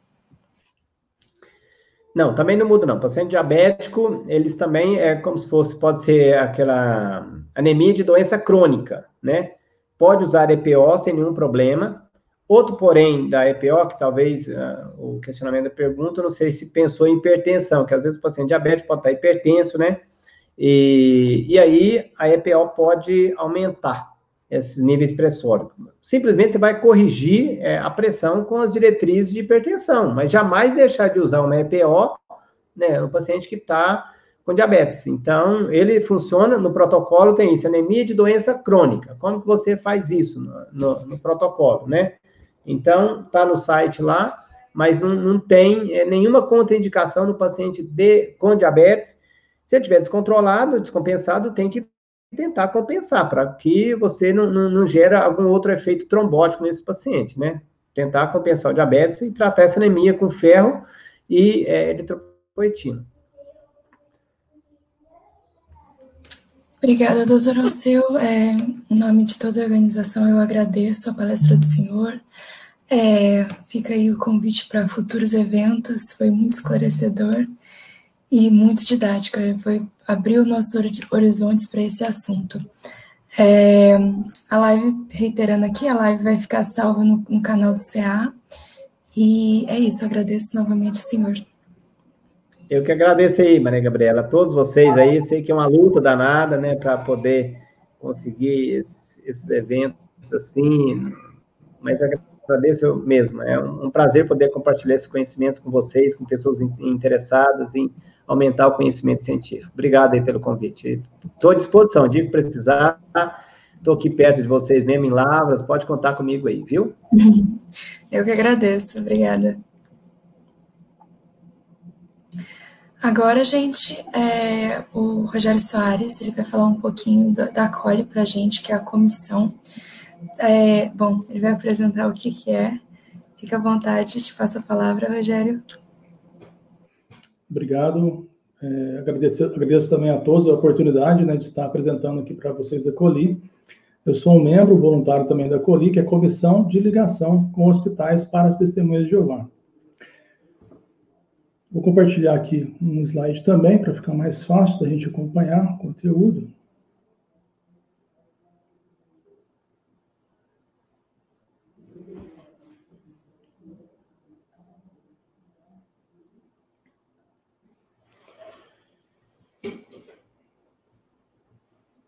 Então, a Comissão de Ligação com Hospitais para Testemunhas de Jeová, ela foi formada já há algumas décadas né, com o objetivo de é, atender, então, as necessidades né, que a gente já vem, já vem é, trabalhando nisso há muitos anos. Né? Antes de, de, dar início, realmente gostaria muito de agradecer a oportunidade de apresentar a Coli e aproveitar a oportunidade também para expressar os nossos mais profundos, sinceros agradecimentos a todos os profissionais de saúde que estão empenhados aí nessa pandemia, né, que são os verdadeiros heróis nesse momento. Além disso, é, médicos, hospitais têm se esforçado para melhorar a qualidade dos serviços né, e da segurança do paciente em várias situações, especialmente agora na pandemia, e também procuram nesses hospitais a manter aí a, a, atualizados né, com os avanços da medicina e as exigências legais, e ao mesmo tempo controlar né, as despesas, reduzir o custo e nesse cenário, no Brasil especialmente, nós temos uma grande diversidade de culturas e religiões. E até mesmo pessoas das mesmas origens podem é, ter é, crenças diferentes aí por, por, vários fatores. E diante dessa tão diversidade é, cultural e religiosa, esse, essa citação do, do, do livro aí diz que crenças e valores pessoais e práticas culturais religiosas são parte fundamental da vida de médicos e pacientes. Então, de fato, é, não tem como a gente desconsiderar esses fatores, né?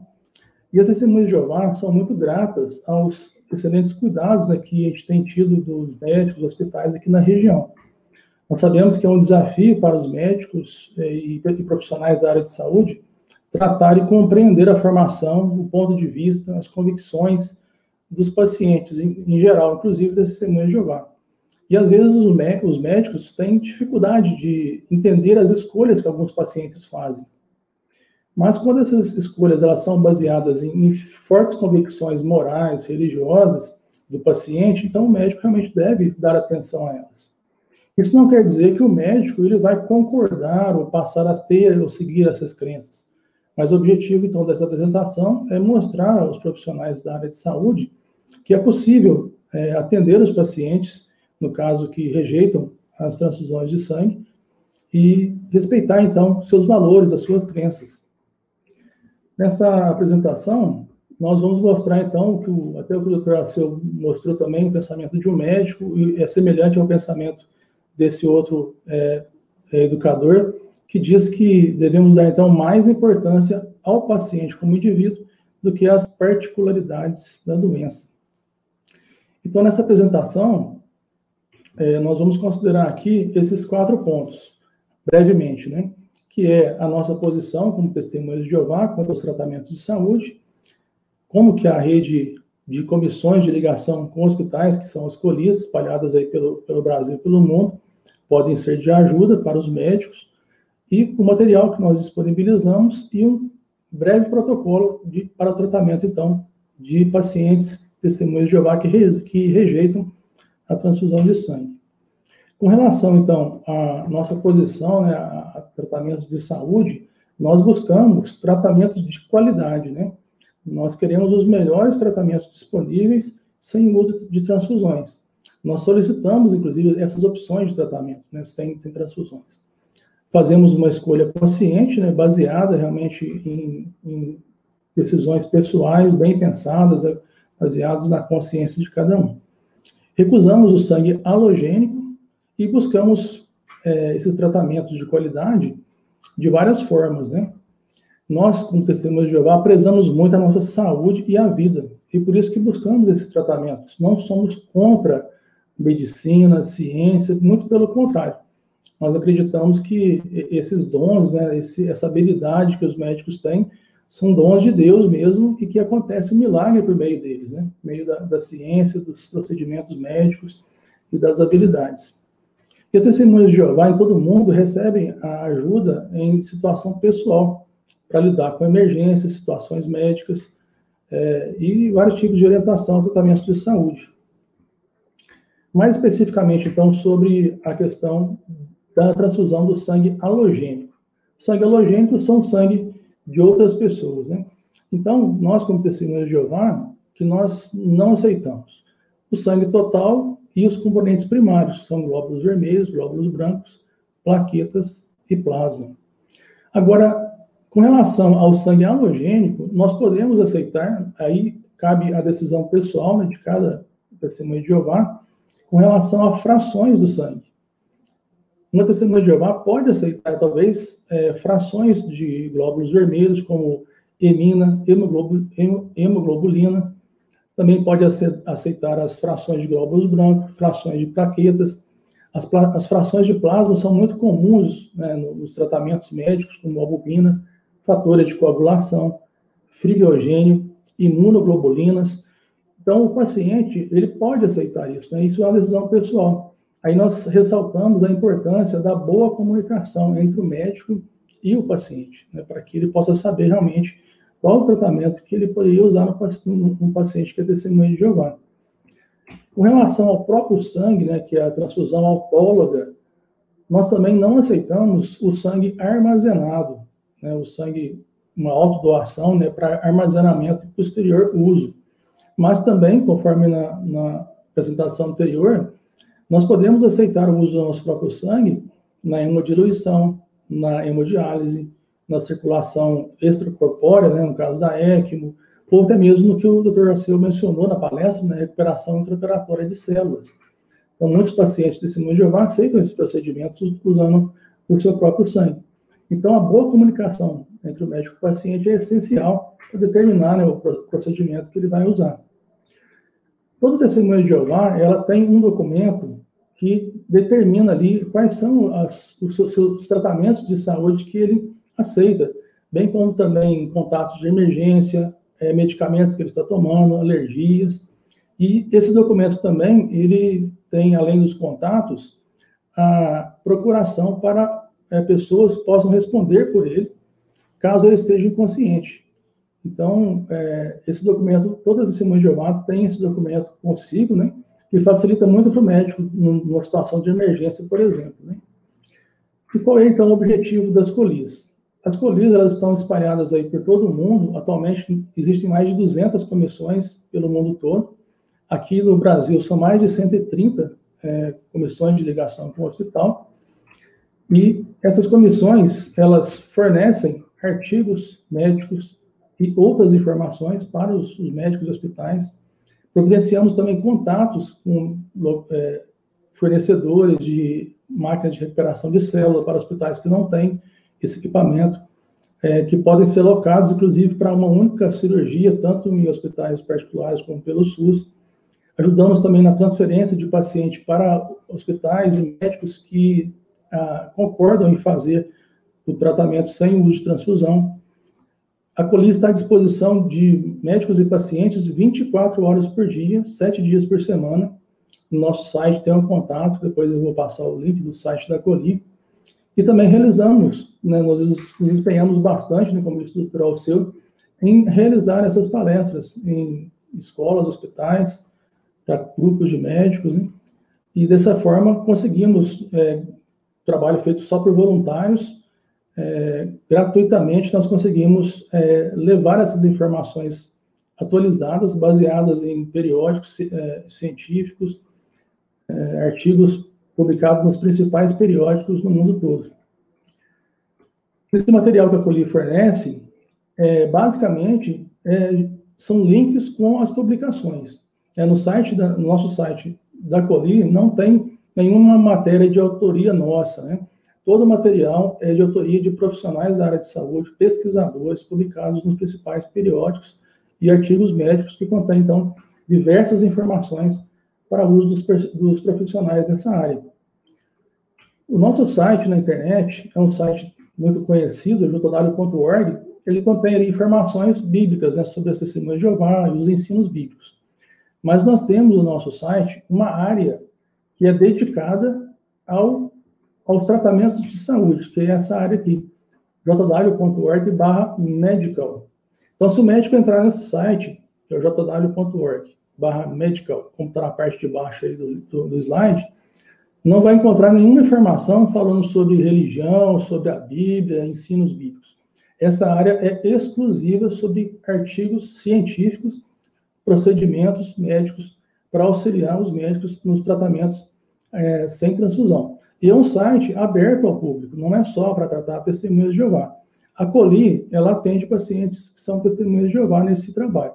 Mas o site, ele contém informações, conforme diz o doutor Alceu, nesse momento de pandemia, pode ser de muito auxílio para uma situação de emergência onde não tem o sangue compatível do paciente ou não tem sangue no estoque. O médico pode usar esse site, está aberto ao público, né?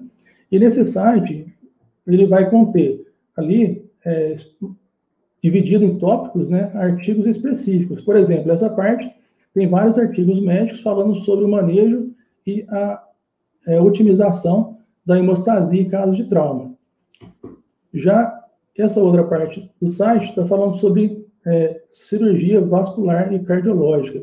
Vários links também de artigos científicos. Quando o, o médico clica nesse, nesse link, ele vai ser direcionado direto para o site da PubMed.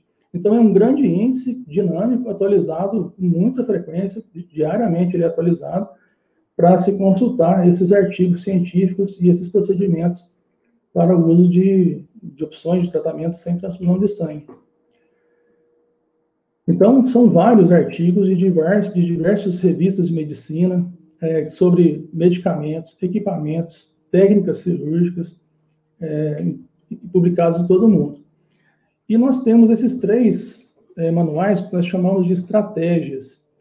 Esses três manuais, aliás, esses quatro manuais, são quatro artigos é, que estão em PDF e também são atualizados com frequência.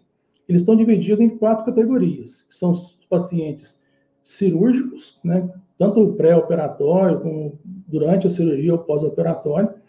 O outro artigo é o de UTI, que a gente fala, né, que é os pacientes que estão clinicamente enfermos. Outra estratégia é para casos de obstetrícia, obstetrícia e ginecologia. E o último artigo aí fala sobre hemorragias em pacientes com problemas gastrointestinais. Cada um desses compêndios, eles contêm mais de 500 referências é, para artigos médicos científicos publicados nessas revistas. Os arquivos eletrônicos em PDF que estão no site, eles contêm os links para os sites já da PubMed e de vários outros é, sites de, de publicações científicas. E ele é baixado gratuitamente também no nosso site otolab.org barra. Esses artigos, eles têm, um, um, esses quatro compêndios em PDF, eles contêm um passo a passo para cada situação, bem indexado e bem fácil né, de acessar. Além disso, tem outros materiais, né, vídeos, é, uma explicação resumida também sobre a, a a Comissão de Hospitais, sobre as, as principais é, questões religiosas e éticas envolvendo as testemunhas de Jeová, como questões de aborto, eutanásia. Ele explica, esses outros artigos explicam outras situações que envolvem também tratamentos de saúde em Testemunhas de Jeová.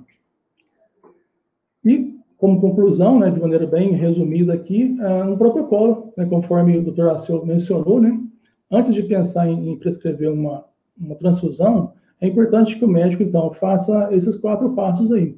Primeiro, a análise né, da situação real do paciente, qual é a necessidade que ele tem, tem ali de tratamento. quais são as opções terapêuticas que podem ser feitas sem o uso da transfusão, de acordo com a situação ali do paciente. O segundo ponto é consultar é, outros médicos experientes, consultar é, artigos científicos e contatar a COLI. Né? No caso de pacientes testemunhas de Jeová, nós estamos disponíveis 24 horas para auxiliar os médicos nesses procedimentos. É, qualquer hora do dia, tem sempre alguém de plantão aqui na região e também tem uma central nacional que fica de plantão também 24 horas para atender os médicos. No site jw.org/medical também tem um contato. E nós também podemos auxiliar na transferência do paciente, porque às vezes o médico ele quer realmente resolver o problema do paciente, mas não tem recursos ali no lugar onde ele está. Mas nós podemos agilizar o processo de transferência, auxiliar nesse processo, para que o médico não se sinta assim é, impotente com relação à ação dele. Né? Então, nós podemos auxiliar também na transferência. Temos os contatos né, com vários médicos que já estão disponíveis para atender os pacientes. Nós respeitamos a posição dos médicos, nós sabemos que tem médicos que têm convicções e nós respeitamos essas convicções. E se o médico não puder tratar ou aceitar né, um paciente, deve fazer isso de imediato, né, informar logo a situação, entrar em contato com a COLI, que a gente vai auxiliar nesse procedimento de transferência. E nós gostaríamos de elogiar mais uma vez né, os médicos pelo trabalho que têm feito aqui na região, pela forma como têm tratado pacientes testemunhos de Jeová. Recentemente, agora, como exemplo, né, os corações, em janeiro, nós tivemos um caso de um acidente de trânsito, um trauma grave. O paciente, na madrugada de sábado a domingo, precisou de uma amputação do membro inferior. É, e os médicos trataram, entraram em contato com a COLI, e o médico o operador auxiliou os médicos da emergência, tentaram recuperar a, a perna, mas não foi possível e fez, foi feita a amputação e toda a recuperação do pós-operatório sem o uso de transfusão, aqui no Hospital São Sebastião, Três Corações. Tivemos casos na região de, do uso da máquina de recuperação de célula, que foi locada e, e deixada no hospital, com o treinamento devido né, para os profissionais, para, para uso dos pacientes. Tivemos uma cirurgia de fêmur numa pessoa idosa em, Pouso Alegre, que fez o uso dessa máquina de recuperação de célula com auxílio da colita nesses procedimentos. Então, é, colocamos aí à, disposição né, de todos os profissionais da área de saúde que quiserem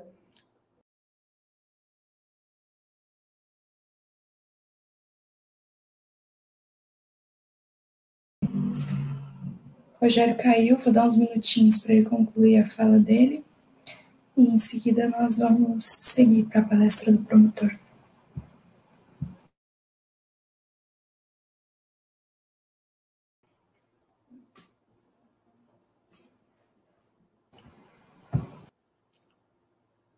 É, só concluindo, então, é isso mesmo, né, que a gente está à disposição e agradece a oportunidade de apresentar a Coli. Obrigado a todos.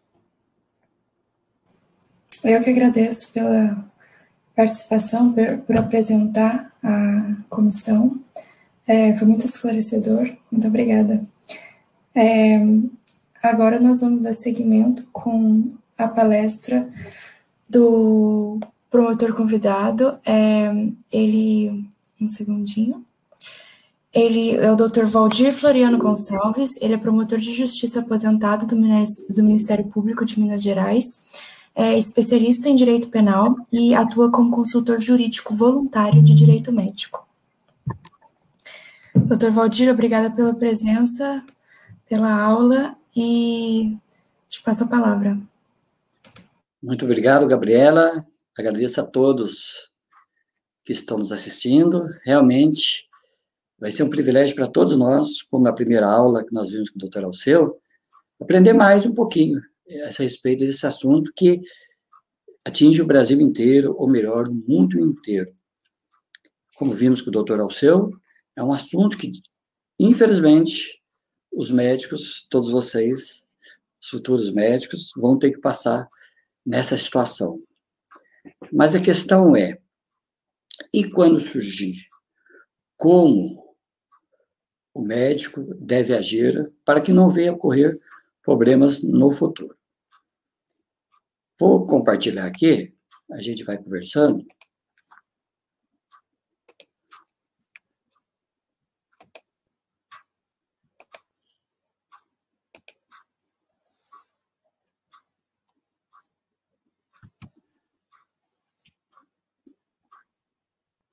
Deu certo, Gabriela? Deu. Deu certo. Então, o que, que é importante? Deixa eu ver se consigo. Verdade, aqui, calma.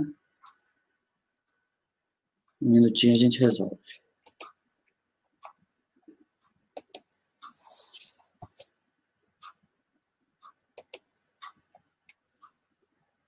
Isso. Muito bem. Tá tudo certinho, né, Gabriela? Certinho, né? Muito bem. Então, o objetivo principal é nós descobrirmos o que fazer nessa situação. Aqui tem, para início de nossa conversa, a missão dos médicos. O Código de Ética Médica já refere qual função, essa função maravilhosa que tem os médicos. No capítulo 1, nos princípios fundamentais, ele diz que o alvo do médico é dar toda a atenção né, do médico e a saúde ao ser humano, em benefício do qual deverá agir com o máximo de zelo e o melhor de sua capacidade profissional. Nós conhecemos. É o princípio da beneficência, ou seja, ele faz de tudo para ajudar o ser humano. Isso é maravilhoso. Por isso que o médico hoje é um papel importante. Todos nós é, não temos como dizer, nunca vou precisar de um médico, de maneira alguma. É o que os médicos são de suma importância para nós. Muito bem. A questão é. Doutor, desculpe interromper, mas a gente não está com a tela cheia. É, se o senhor vir aqui no cantinho, no canto inferior ah. esquerdo, tem como colocar tela cheia, um desses ícones pequenininhos. Deixa eu ver se eu acho. Na parte esquerda, Gabriela? Isso. Não, hum. direito, desculpa. Aqui, minha. Ah, deixa eu ver. Deixa eu Modo ver de apresentação. Ah, deu certo, consegui, aprendi. Deu certo, né? Ainda não, é do lado de 90%. Ah, espera, eu vou ter que voltar então. Hum. É, se o senhor apertar F5 também funciona. Eu tentei com F5, deixa eu ver. Deu, ah, deu certo agora, né? Agora deu? Show. Obrigado, estou aprendendo, tá vendo? Imagina, eu que agradeço. Desculpa interromper. Ah, foi ótimo. Então, o que nós estamos observando... Agora, gente, o senhor tem que compartilhar a tela de novo, por favor, porque só está aparecendo a gente. Tá, vamos ver o que, que eu faço. Vou ter que sair de novo, calma. Compartilhar a tela. Certo, aqui, isso.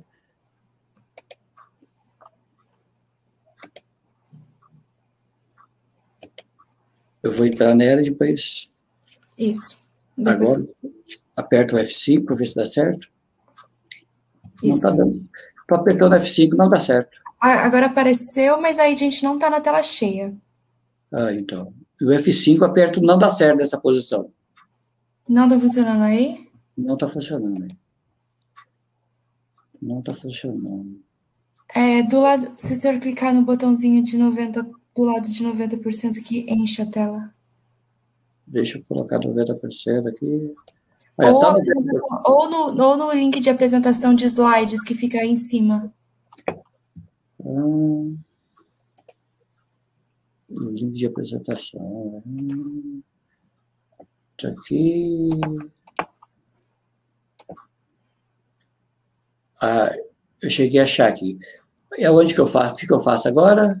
É, se você clicar em apresentação de slides, funciona. Sim, apresentação de slides deu certo. Vou ver se eu coloco tela cheia. Agora deu certo? Não.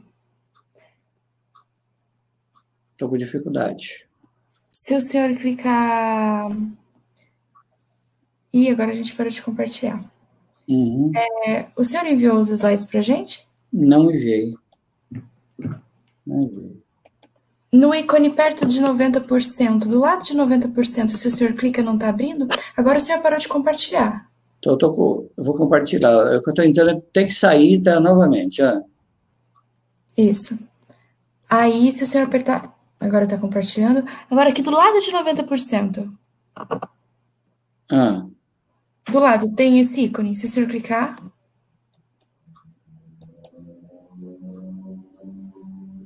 Deu certo ou não? Não. Hum. Deu Agora certo? foi, agora foi. Oh, obrigado, obrigado, obrigado. Eu que agradeço. Bem. Então, conforme nós vimos, inclusive, na palestra anterior do Rogério, é mais conhecido as testemunhas de Jeová por recusar a transfusão de sangue por motivo é, de crença religiosa. Não só isso. É, durante muitos anos, aprendendo a esse respeito, fui analisar por quê, né? E um dos porquês também é que eles desejam realmente um tratamento adequado, um tratamento melhor. Mas nós estamos vendo aqui nesse, nesse slide três imagens. A primeira é uma mulher grávida. Imagina essa mulher católica, fervorosa, grávida, e o médico chega para ela e diz: Olha, o seu filho pode nascer com um problema de saúde e você corre risco de vida. Mas ela, ela não, ela quer continuar com a gravidez. O que, que o médico pode fazer? Vamos responder durante, porque se aplica também no caso dela. Nessa imagem no meio, um judeu, por exemplo, está com um problema cardíaco, necessita de trocar uma válvula do coração. As válvulas costumeiramente usadas é suína.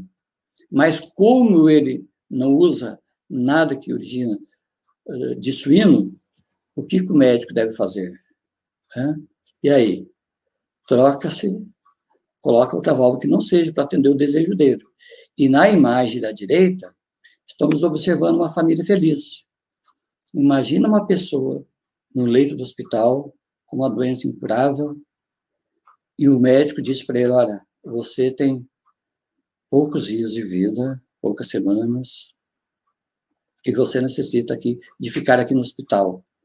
Mas essa pessoa, ele prefere, em vez de passar no hospital os últimos dias dele de vida, ele prefere passar junto com a família. Como o médico vai agir nessa situação?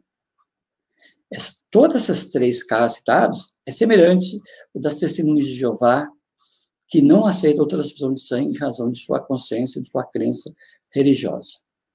O que, que a lei diz para que o médico seja garantido o seu direito e que ele possa se preservar o direito do paciente para atender? Então, vamos analisar agora o que, que a lei fala nesse respeito. Então, vamos analisar brevemente os principais dispositivos legais sobre o assunto. O primeiro é a Constituição Federal. Para se ter uma ideia, a Constituição Federal é chamada das leis das leis. Por que chamada leis das leis? Porque todas as demais leis têm que estar baseada no que diz a Constituição Federal. Porque se alguma lei, alguma norma jurídica estiver contrário à Constituição Federal, ela é considerada inconstitucional. Portanto, vamos começar a analisar o que é a lei das leis. A Constituição Federal fala sobre os direitos que os pacientes têm, todos nós temos, porque tanto eu como a, o médico, às vezes, precisa procurar outro colega, outro médico, para fazer o tratamento. O que, que a lei garante, nesse caso, para todos nós? Muito bem. No título 1 dos princípios fundamentais, o artigo 1 da Constituição Federal, só para entender, primeiramente, os princípios fundamentais, o que significa fundamentais? É como se fosse o pilar do prédio. Esse pilar, se não for bem firme, o que pode acontecer com o prédio? O prédio pode acontecer cair. Então, todas essas coisas, os fundamentos, vai nas demais normas jurídicas, inclusive da Constituição Federal. O que, que diz, então, qual um dos princípios fundamentais da Constituição? O artigo 1 da Constituição, da Constituição diz no inciso 3 fala a respeito à República Federativa do Brasil e tem como fundamentos, inciso 3 a dignidade da pessoa humana. Dignidade da pessoa humana. O que será que significa dignidade da pessoa humana, esse princípio constitucional? O ministro Luiz Roberto Barroso, ele definiu bem, deu um conceito de dignidade para que nós possamos entender melhor. Porque todo o tema da nossa aula vai basear-se nesse princípio constitucional. É como eu disse anteriormente, todos os demais preceitos jurídicos têm que estar de acordo com esse princípio constitucional da dignidade humana. O que, que o ministro diz? A dignidade como autonomia envolve, em primeiro lugar, a capacidade de autodeterminação, o direito de decidir os rumos da própria vida e de desenvolver livremente a própria personalidade. Resumindo, então, significa o poder de realizar as escolhas morais relevantes, assumindo a responsabilidade pelas decisões tomadas. O que, que o ministro quer dizer, resumindo em suma? Que a dignidade não, que a pessoa, não é só a questão para a pessoa ter dignidade, é só o ser biológico com ela. Envolve o psíquico, envolve o emocional, ou seja, o próprio ser da pessoa. E cada pessoa no mundo tem esse direito de decidir os rumos da vida.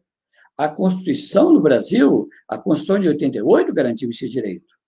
A Constituição de 1967, ela não garantia esse direito da dignidade humana. Mas, embora nós sabemos que o Brasil aderiu é, os direitos em 1900, que foi em 1948 os direitos humanos, o Brasil adquiria, aderiu esse ponto. Mas somente em 1988 na Constituição que ela colocou esse direito fundamental, esse direito importantíssimo da dignidade humana. Ou seja, a pessoa tem o direito de decidir, logicamente ela vai responder pelas decisões tomadas. Será que ele pode fazer tudo? Tudo da vida? De maneira alguma. O direito dele, o direito de cada um de nós, vai até onde começa o direito de outra pessoa. Nós não podemos interferir ou atrapalhar ou prejudicar o direito de outra pessoa, o direito de terceiros. A dignidade humana é tão importante, em 2010, numa arguição de descumprimento de preceito fundamental, o ministro relator Eros Grau, na época, ele disse o seguinte, ele ressaltando a importância da dignidade humana para todos nós. Ele disse que a dignidade, ela não tem preço, ou seja, não tem valor que pague o que pertence a cada um de nós, independente de classe social, de religião, de cor, de etnia, não tem preço. Todos nós temos dignidade. Aí vem continuando. As coisas têm preço. Um prédio tem preço, um carro tem preço.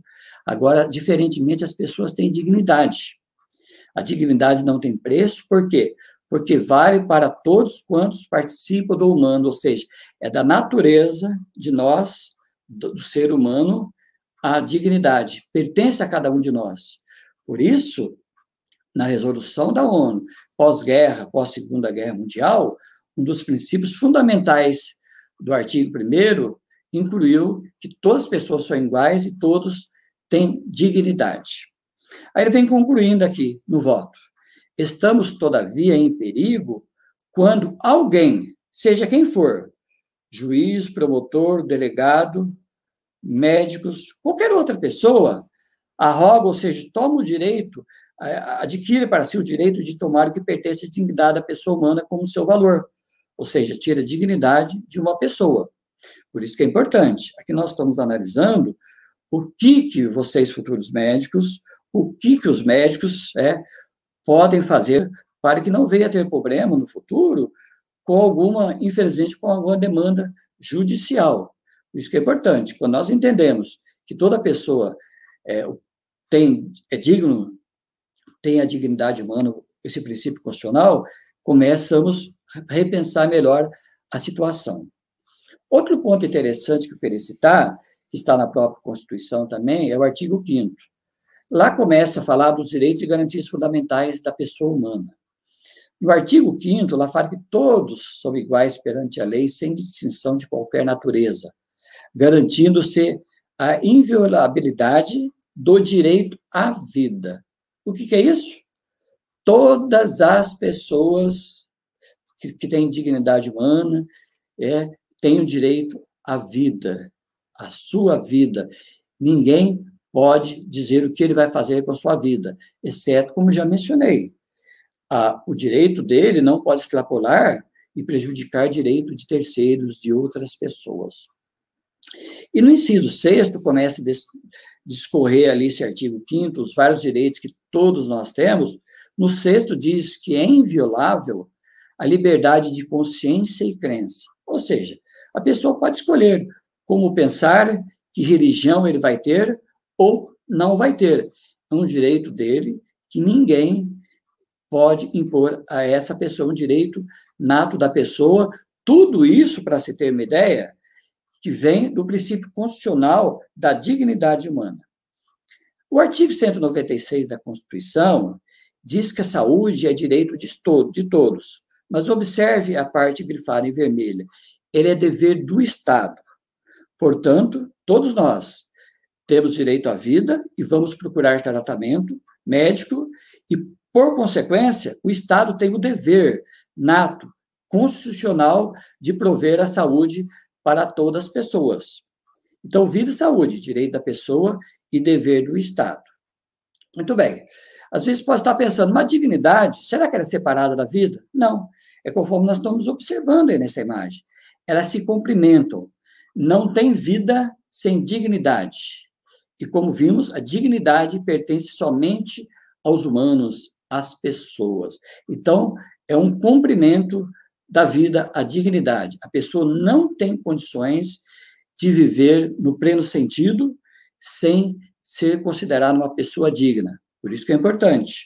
O respeito pela pessoa depende de cada um de nós, independente é de que profissão somos, de que razão ou condições financeiras cada um de nós temos.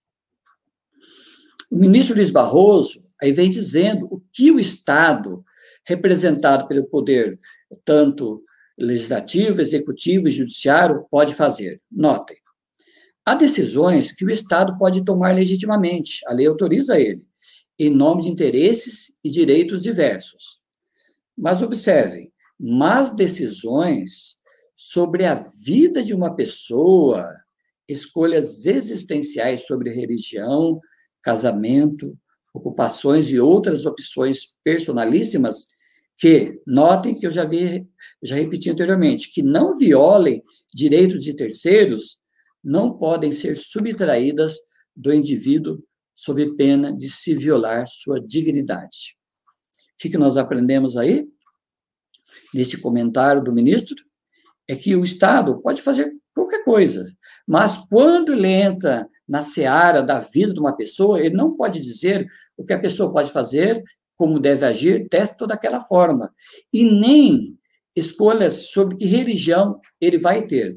A nossa Constituição Federal garantiu, garante que a pessoa tem, pode escolher a religião que ele quiser ou não pertencer a nenhuma religião, porque senão nós vamos violar o princípio da dignidade humana. O Estado, então, está impedido por meio de seus três órgãos citados, os três poderes do Estado, já citado, executivo, legislativo e judiciário. Muito bem, o direito à vida não é apenas o direito de estar vivo, mas de viver com dignidade. O que nós estamos observando? Nessa imagem da direita, será que essa pessoa está tendo um tratamento digno que cada um de nós merecemos? Não, certamente que não. Porque ela não está tendo o mesmo cuidado do que a imagem que nós estamos observando da esquerda, uma enfermeira cuidando, é, está na UTI, os equipamentos monitorando. Por isso que é importante.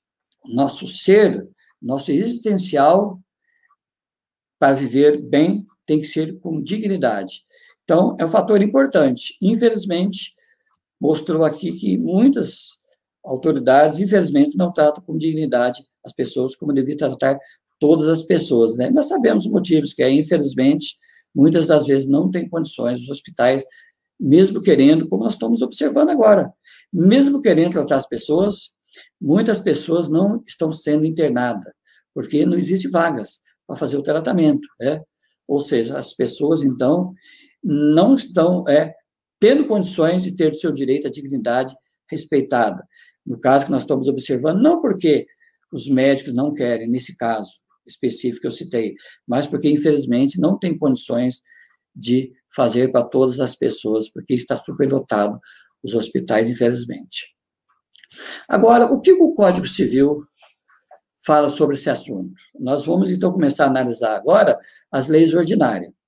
O Código Civil, no artigo 15, ele diz que ninguém pode ser constrangido a submeter-se com risco de vida a tratamento médico ou intervenção cirúrgica.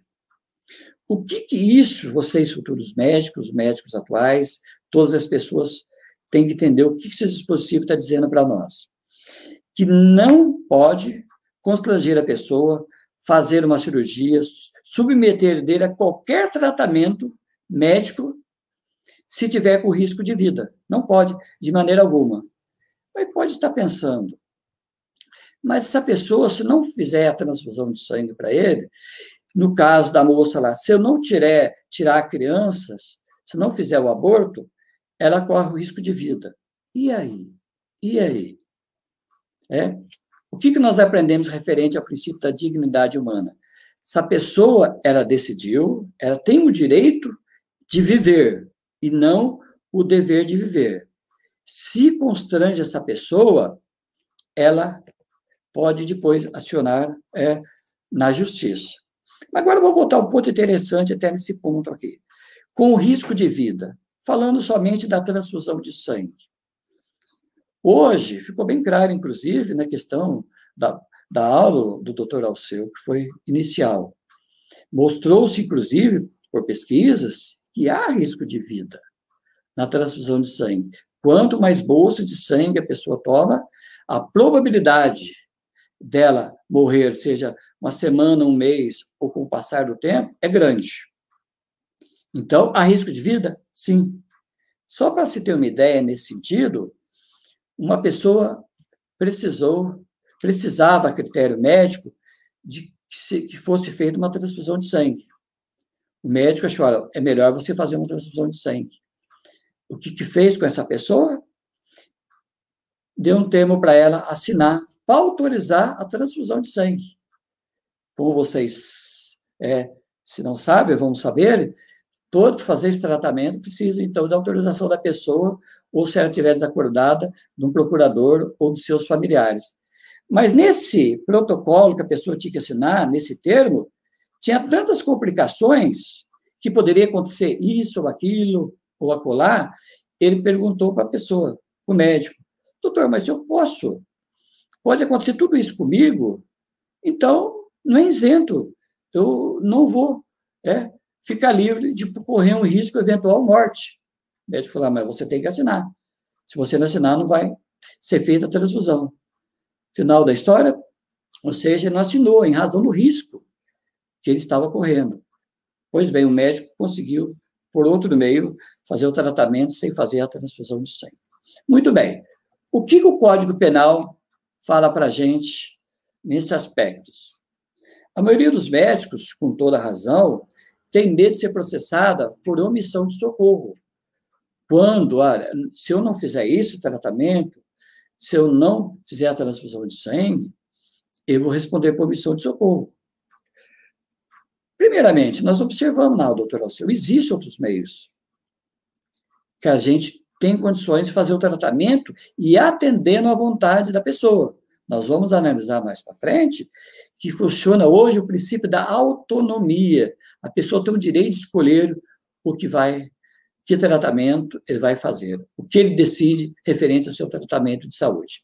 Mas só agora ficando nesse aspecto do Código Penal, no artigo 135, que trata da omissão de socorro, diz: deixar de prestar assistência quanto possível fazer de serviço pessoal à criança abandonada, extraviada, e continua, né?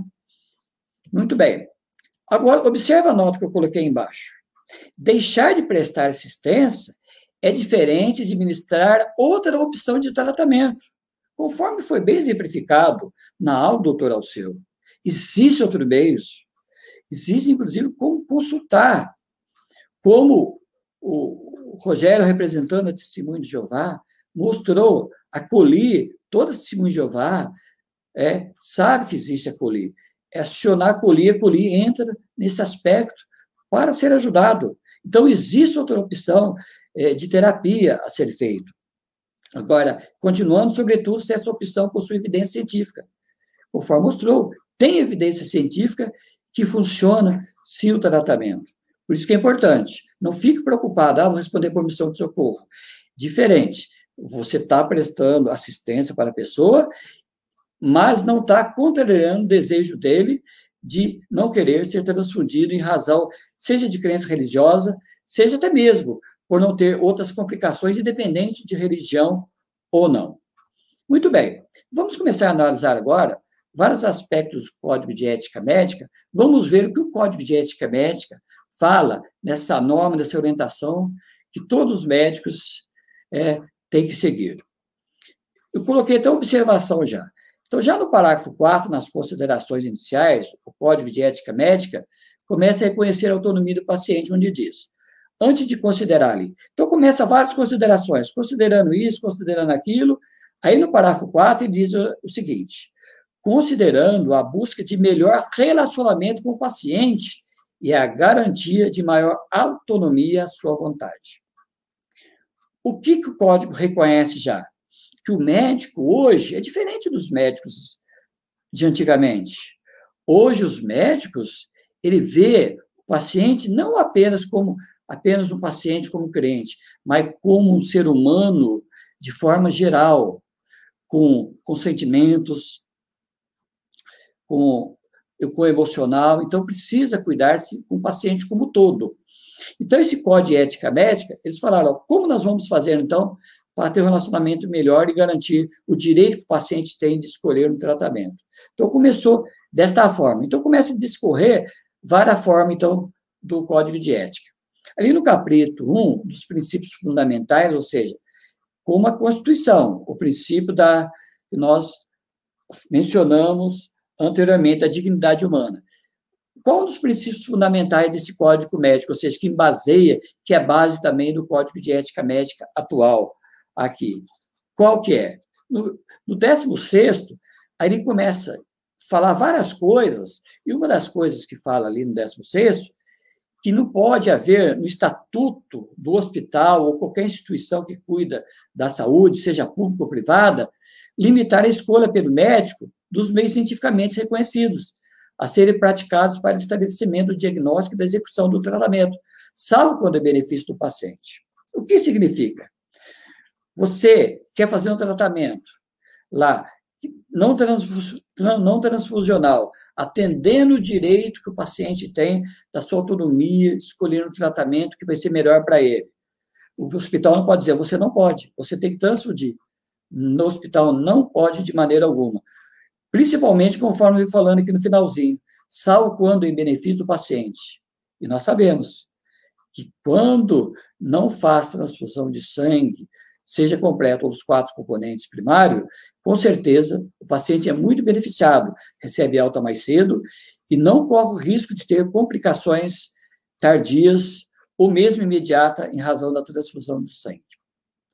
Continuando o Código de Ética Médica, nos princípios fundamentais ainda, no 21 diz que no processo de tomada de decisões profissionais, de acordo com os seus ditames de consciência e as previsões legais, falando isso, o médico, notem, ele aceitará as escolhas de seus pacientes relativas aos procedimentos diagnósticos e terapêuticos por ele expressos, desde que adequadas ao caso cientificamente reconhecidas. Nós observamos. Hoje é cientificamente reconhecidos, independente de que dos anos atrás, né, que não tinha como. Hoje tem, é só consultar as publicações os médicos vão conseguir saber como tratar o paciente. Por isso, da tomar decisão, o médico, sim, ele pode aceitar. E quando ele aceita é, a escolha do paciente, com certeza ele não vai ter problema no futuro. Além disso, nós sabemos, vai ser bem sucedido e, por consequência, o paciente vai ficar feliz. Esse é o objetivo do médico hoje, não é simplesmente o médico, mas sim o médico que faz com que aquele paciente seja um amigo seu, que ele saia do consultório, saia de uma cirurgia, saia do hospital feliz, porque foi bem tratado, o médico atendeu a sua consciência, o seu direito de autonomia de escolher um tratamento. Muito bem. No capítulo 2 dos direitos médicos, ali fala que é direito do médico, então, indicar o procedimento adequado ao paciente, observar as práticas cientificamente reconhecidas, respeitar a legislação vigente. Por isso que é importante. Os médicos hoje, não é depois que ele forma, que ele começa a trabalhar, ele, ele deixa de estudar. O médico nunca para de estudar. Nós estamos vendo evidências científicas, todo dia está aparecendo coisas novas. Então, o médico tem que estar sempre estudando. Ele escolheu isso, é, e nós somos muito gratos. Então, o médico que estuda, que sabe como tratar um paciente, né, da forma que ele quer, atendendo a sua autonomia, com certeza é não apenas um, um bom médico, mas um excelente médico que vai fazer com que o paciente seja feliz. Observe agora o que diz o seguinte, ainda, o que o médico não pode fazer se quiser evitar algum problema no futuro. É vedado, ou seja, proibido ao médico, no artigo 22, deixar de obter consentimento do paciente ou do seu representante legal, após esclarecê-lo sobre o procedimento a ser realizado, salvo em caso iminente risco de morte. O que, que mostrou aqui? O médico ele tem que obter todos os consentimentos. Como eu disse naquele exemplo citado lá, para fazer a transfusão de sangue, tem que o paciente estiver é, acordado ou se estiver inconsciente do procurador, dos seus familiares, ter o consentimento, né? Aqui mostrou, ele esclarece das consequências. Olha, se você fizer isso, a consequência é aquilo. Se você fizer desta forma, vai ser desse jeito. Agora tem um ponto interessante no finalzinho, às vezes o médico pode achar que tem um salvo-conduto que ele pode fazer o que ele quiser. Se vocês não quiserem evitar futura dor de cabeça, ali falou, salvo em caso de iminente risco de morte. Esse não é um salvo-conduto para vocês fazerem o que quiser, de maneira alguma. Esse iminente risco de morte, para começar, ele é subjetivo. Porque o que é o, o risco de morte para o médico não é para outro. Porque o médico depende de como ele sabe tratar, ele vai fazer isso, vai fazer aquilo, vai consultar outra pessoa. Então, não pode esquecer. Então, às vezes, pode ser depois de um processo judicial, alguma coisa que vai complicá-lo. Aí, vai, como você vai comprovar que era um risco de morte aquele? Você consultou outro médico? Consultou uma junta médica para dizer que não tem como fazer isso ou aquilo? Muito bem. Outra coisa que não pode, que o médico não pode, está no artigo 24 do Código de Ética Médica, é deixar de garantir ao paciente o direito de decidir livremente sobre sua pessoa, bem como exercer sua autoridade. Por isso que hoje a coisa que mais funciona é a conversa. Você converse com o seu paciente, expõe para o seu paciente. E, é, quando você põe para o seu paciente, ele vai dizer, olha, doutor, eu concordo com o que o senhor falou, eu vou então fazer o tratamento que o senhor é, propôs. Ou então ele vai dizer, olha, doutor, esse tratamento eu não concordo. Não tem condições de fazer isso ou fazer aquilo. É como mostrei anteriormente. Hoje, nós vivemos no princípio da autonomia, e não do princípio do paternalismo, onde o médico tinha o direito de fazer o que quisesse, como se fosse um pai de fazer o que quisesse com o filho. É, não é desta forma. Então, o princípio da autonomia é o princípio em que o paciente escolhe o seu tratamento. Continuando ainda, no 31, diz, quando desrespeitar o direito do paciente, né, ele pode também ter uma fatura, dor de cabeça, infelizmente, porque é proibido a ele. E o risco de morte também, como citei anteriormente, é condição subjetiva. Então, por isso que é bom, vocês consultem o Código de Ética Médica observe lá o que, que diz e, e veja o que as, os outros princípios legais que foi citado aqui, que vocês vão, vocês vão ver que vocês vão, vão ter mais tranquilidade para decidir sobre o assunto. Muito bem. Aqui tem no capítulo 5 do Código de Ética Médica ainda conseguindo, relação com pacientes ou familiares. Aqui vem dizendo que o médico não pode, de maneira alguma, abandonar pacientes sob seus cuidados. Mas o médico pode dizer, ah, ele não aceitou o tratamento que eu propus, eu vou abandonar para ele. Aí no parágrafo primeiro, vem dizer que o médico tem que fazer várias coisas. Uma das coisas, ele pode renunciar, mas ele comunica o paciente o seu representante legal. Mas, além de comunicar, o médico tem que assegurar a continuidade dos cuidados, fornecendo todas as informações necessárias ao médico suceder, ou seja, ele não exime da obrigação de continuar cuidando daquele médico. Ele tem que fazer de tudo para que ele receba o tratamento, para que aquele paciente não venha a morrer. Ele não, ele não pode dizer simplesmente, não vou cuidar de você, embora para casa e acabou. Não, ele vai ter dor de cabeça, de acordo com o que nós estamos vendo nesse dispositivo aqui do Código de Ética Médica. Muito bem.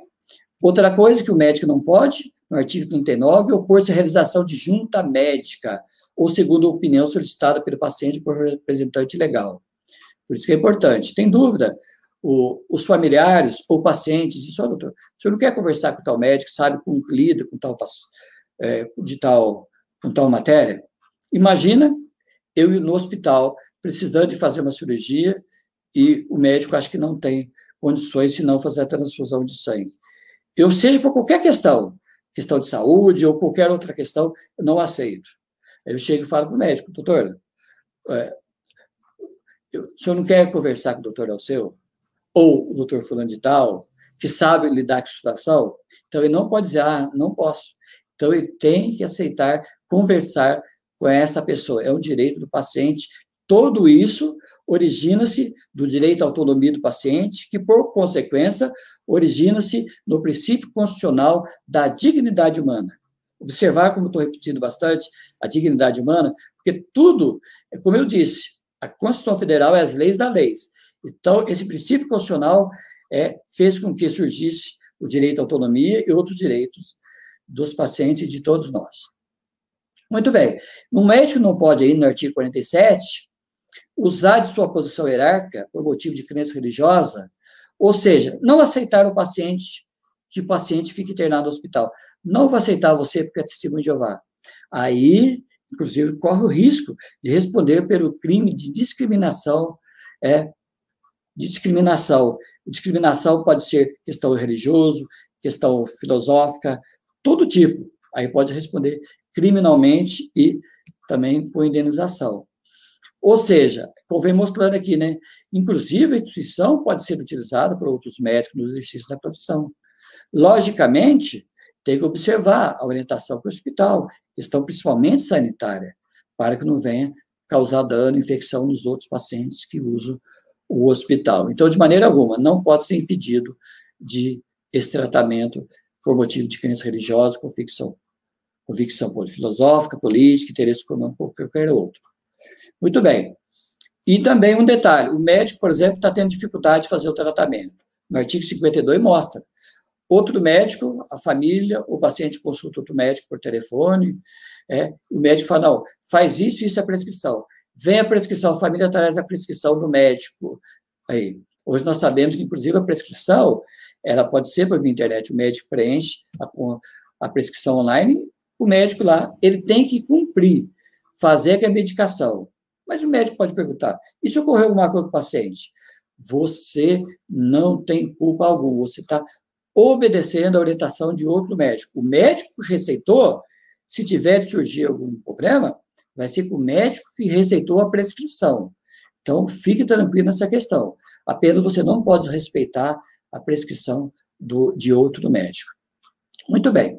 Na questão da transfusão do sangue, é tão complicado, conforme nós vimos na palestra do doutor Alceu, quanto mais bolsa de sangue, mais o risco de ter, é, se não for de imediato as complicações, pode ser tardia. A portaria 158 de 2016 do Ministério da Saúde, no artigo 6 aí diz que a transfusão de sangue e seus componentes, ela deve ser utilizada criteriosamente na medicina. Por quê? Criteriosamente porque uma vez que toda transfusão traz em si um risco ao receptor, a quem está recebendo, seja imediato ou seja tardio. Por isso, ela deve ser indicada de forma criteriosa. O Ministério da Saúde dizendo isso. Mas será que só o Ministério da Saúde está dizendo isso? Muito bem. Agora, a questão do sangue. O ministro, no seu parecer, ele disse: olha, é legítima a recusa de tratamento que envolva transfusão de sangue por parte das testemunhas de Jeová. Aí está a parte de testemunho de Jeová, mas pode ser referido, é legítima a recusa de tratamento? É por qualquer outra pessoa. Não precisa ser testemunho de Jeová. As pessoas, com ter esclarecimento dos males, que pode trazer o sangue que tem outras opções terapêuticas, ela pode escolher. E aí é um direito da pessoa de escolher. Conforme mostrando aqui, né, tal decisão, então, funda-se no exercício da liberdade religiosa, direito fundamental emanado da dignidade da pessoa humana, que assegura a todos o direito de fazer suas escolhas existenciais. Muito bem. Em sigma, em suma, resumindo, o paradigma paternalista deu lugar à autonomia do paciente nas suas relações. Então, ao paciente, ao profissional, ele não reconhece mais autoridade para impor, a qualquer custo, determinada terapia ou para se substituir ao indivíduo nas decisões essenciais a respeito de sua integridade física e moral. A manifestação de vontade do paciente, no entanto, sobretudo quando importa recurso de tratamento, deve ser cercada de um conjunto de cautelas e exigências. Então, a autonomia do paciente prevalece nos dias de hoje. O que nós estamos observando aí? Olha essa pessoa. Ela está exercendo o direito de autonomia que tem de praticar o esporte que ela quer. Se nós observarmos, até assusta. Onde que ela está praticando isso? Esporte. Esporte perigoso. Mas alguém tem condições de pedir ele de fazer, de exercer a sua autonomia de praticar o esporte que ele quer? De maneira alguma. Mesma coisa na questão do tratamento de sangue. Todos nós, de razão da dignidade humana, do direito que nós temos, nós podemos escolher que tratamento nós vamos querer para nós. É, aqui, por exemplo, existem várias decisões do Conselho Federal de Medicina, que quando aplicou o direito autônomo da pessoa, era, é, mostramos aqui essa resolução, que a pessoa, inclusive, desculpa, vai mais para frente, que ela pode definir diretivas antecipadas. É como foi mostrado pelo Rogério. A pessoa chega, olha, meu tratamento eu quero que faça dessa daquela forma. Tem que ser obedecido o direito que ele decidiu, é, seja ele estando acordado ou mesmo quando está incapacitado, aí o seu procurador pode resolver na questão de saúde o que ele escolheu para o seu tratamento. É. Ali nessa resolução e no artigo 2 diz que o médico levará em consideração as suas diretivas antecipadas de vontade, ou seja, que o paciente, mesmo estando é, é, desacordado, tinha decidido anteriormente. Muito bem, o enunciado 528 do Conselho Federal de Justiça diz que é válida essa declaração de vontade, documento, sobre o tipo de tratamento de saúde que a pessoa deseja. Ou seja, então, a Justiça reconheceu isso. Pode a pessoa, então, decidir que tipo de tratamento ele vai querer para si. Muito bem. O Conselho Federal de Medicina, em várias apelações, mostrou que há inexistência de indícios de infração ética quando a pessoa, quando o médico aplica o direito autônomo da pessoa de não querer o tratamento de, com transfusão de sangue, um tratamento melhor para ele. Várias decisões aqui citadas, que, que não vou citar em razão do tempo. Muito bem, decisão do Superior Tribunal de Justiça, em 2018, ele vem dizendo que o princípio da autonomia da vontade, ou autodeterminação com base constitucional, naquele princípio da dignidade humana, é, é fonte do dever de informação e do correlato direito ao livre consentimento informado do paciente. Então, preconiza a valorização do sujeito de direito por trás do paciente. Ou seja, mostrou que o paciente tem sim o direito à autonomia de, de escolher que tratamento é melhor para ele. Muito bem. Será que é só, como diz aqui no Brasil? Não. A OMS, lá se, pro, se procurarmos lá no uso clínico do sangue, lá vai mostrar sobre vários itens que o médico deve fazer para prescrever sangue nessa CC8. Lá, eu pesquisei, inclusive, independente não ser da minha área, mas ela citou várias coisas na página 172, na seção 8. 8.2, que vai ter um quadrinho lá, dentre 10 perguntas que o médico deve fazer, se vai ou não fazer transfusão de sangue, depois podem consultar referente à internet, pode que vão achar os senhores, no, no 10, olha o ponto 10. Depois você achou todas as questões, o ponto 10 achei interessantíssimo. Diz o seguinte, olha, se o sangue fosse para mim ou para meu filho, eu aceitaria a transfusão nessas circunstâncias? Pergunta aí. Hã? Depois de, de, verificar todos os aspectos positivos, negativos, será que eu vou, vou fazer isso? Então, essa é a questão. É, temos, tem que ser observado para que não tenha nenhum problema. Muito bem, a conclusão?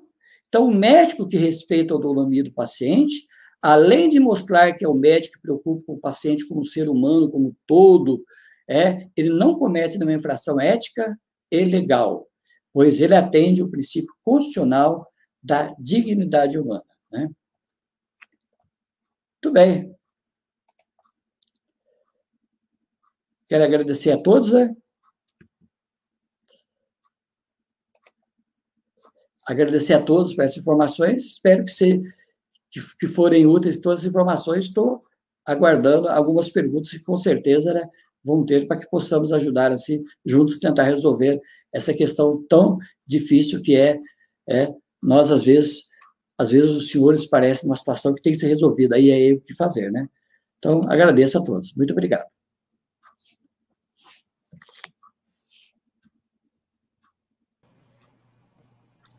Obrigada, doutor Valdir. É, deixar uns minutinhos agora, a gente pode abrir para perguntas. Se alguém tiver alguma pergunta, escreva no chat, por gentileza.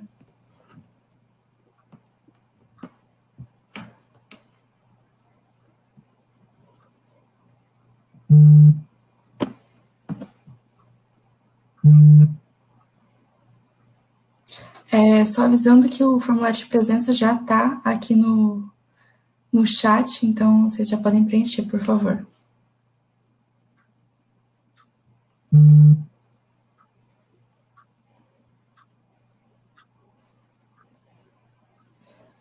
pessoal está agradecendo a palestra, doutor Valdir. Obrigado.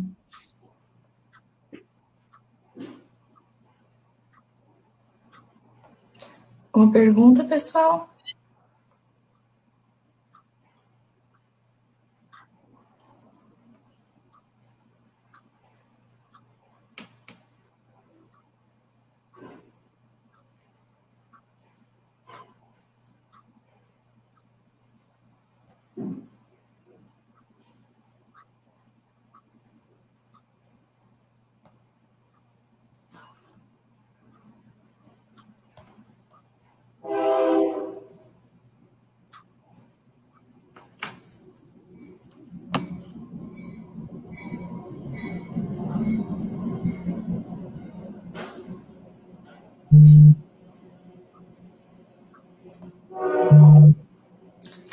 Então, acredito que não.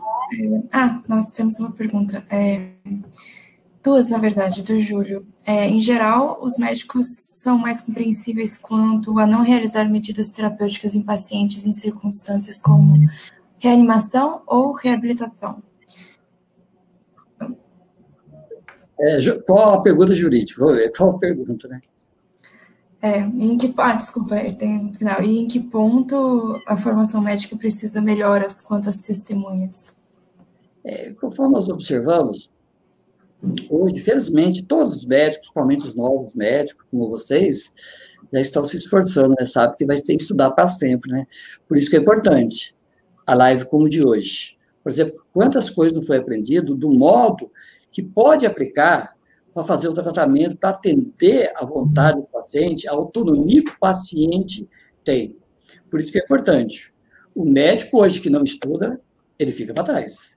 Ele fica para trás, ele não tem condições e pode surgir dor de cabeça para frente, vai ter problema, porque existe o tratamento. O médico, ele nunca vai poder parar de estudar. Então, para que isso, a formação dele é contínua nunca vai poder parar. Não é isso mesmo, Gabriel? Então, então tem que estudar. Obrigado, Júlia. Com certeza. É, o Valdecir tem uma pergunta também, é, como os pais podem expor ao médico que querem um tratamento sem o uso do sangue para seus filhos menores? É, o que, que a lei diz? Nós sabemos que essa autonomia fica atinente mais aqueles que têm é, o maior de 18 anos, que têm a capacidade jurídica que a lei prescreve no código. Anteriormente, é que não é dos épocas suas, era 21 anos, mas agora é 18 anos, por exemplo, né? Então, o que acontece? Esse é um direito à autonomia, à dignidade de todas as pessoas, mesmo até das crianças. Então, o que os pais podem fazer? Por isso que é questão de conversa. Nós sabemos que o pacto do poder que os pais têm sobre os filhos é a lei ainda, infelizmente, considera limitado. Por que, que eu falo infelizmente? Porque quando nós que temos filhos vamos procurar o um médico, nós queremos que, médico, que, os nossos filhos sejam bem tratados como nós fôssemos tratados. Aliás, até mais bem tratado. Eu, por exemplo, que tenho uma netinha, eu quero que elas fossem bem tratadas. Se, for, se tiver condições de eu trocar minha vida por ela, não tenho dúvida. Não tenho dúvida que eu troco, não penso duas vezes. Agora, então, os, os pais que amam os filhos, eles, eles expõem da seguinte forma, que existe tratamento. Por isso que quando eles vão procurar, eles já vão no tratamento para ajudar o médico. Ô, doutor, não quer consultar o, o tal médico que está, que sabe como tratar nessas condições, né? Agora, na questão jurídica, só te na questão jurídica, às vezes, infelizmente, muitos hospitais, médicos entram na justiça e acabam conseguindo eliminar, né? Ou seja, a criança acaba sendo transfundida, mas infelizmente, conforme nós observamos na aula do doutor Alceu, vai haver complicação para essa criança no futuro. Pode alguma coisa, infelizmente, vai acontecer, porque o sangue, alguma coisa pode acontecer aí, nós não queremos que nosso filho ocorra desse jeito. Então, por isso que é importante. O pai está tem que saber bem para como ajudar o médico também. Não pode deixar o médico sem saber o que fazer. Então, expõe, dá recurso para o médico, que com certeza vai ser bem usado, vai se ajudar nossos queridos filhos. Ok, obrigada. É, a gente tem mais uma pergunta do Daniel: se o, pode o médico recorrer à justiça para transfundir, passando pela autonomia dos pais? Isso, infelizmente, é feito muito. É feito muito. Porque, como é que eu disse, né? Ao, é, nesse detalhe dos filhos, é, o pátrio poder que tem é relativo. Por isso que, por experiência que já mostrou, quando é, sabemos que os filhos da Testemunha Jeová ou de outros que precisam de tratamento, sabemos que não vai conseguir, já vão atrás daqueles que vão conseguir fazer o tratamento. É? E se recorrer à justiça, né, infelizmente, muitos deles recorrem para transfundir. Mas o detalhe é o seguinte: vocês, futuros médicos, têm que pensar da seguinte forma: se vocês é, tratar, não pense em tratar somente o adulto com medo de processo judicial, mas se vocês tratar bem o filho de um pai que foi bem tratado, que teve o um tratamento, atendendo o direito dele, com certeza ele vai contar para um, contar para outro, vai falar: olha, tal médico sabe como cuidar dos nossos filhos. Por isso que é importante. Pode ocorrer? Sim mas observe pensando no futuro, pensando inclusive no ser humano, naquela criança, para que não tenha algum mal em razão do que pode ocorrer a transfusão de sangue. Então, o melhor é pensar nisso. Obrigada, doutor. É, pergunta da Júlia Mara Lima. Se caso o filho de 17 anos, como paciente, for de opinião contrária dos pais quanto ao tratamento? Ah, excelente. Nós chamamos, aí, quando é menor de 18 anos, conforme nós mostramos, ele não tem a maioridade civil. Mas nós falamos hoje do menor amadurecido. O que é o menor amadurecido? É que ele, embora não tenha sua plena capacidade civil, não tem razão da idade, mas ele tem condições de defender-se pessoalmente, de dizer o que ele quer ou o que não quer. Por isso que é importante. Quando ele quer um tratamento diverso do pai, ele pode chegar e pedir para ser ouvido. E com certeza, muitos dos juízes estão ouvindo, querendo ouvir a opinião dele, explicar por que, que ele quer tra tratamento diverso dos seus pais. Então, em razão disso, pode sim.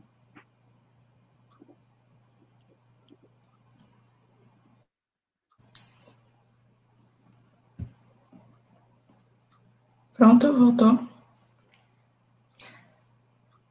É, bom, a pergunta da Júlia, a resposta responde à pergunta do Davi também, né?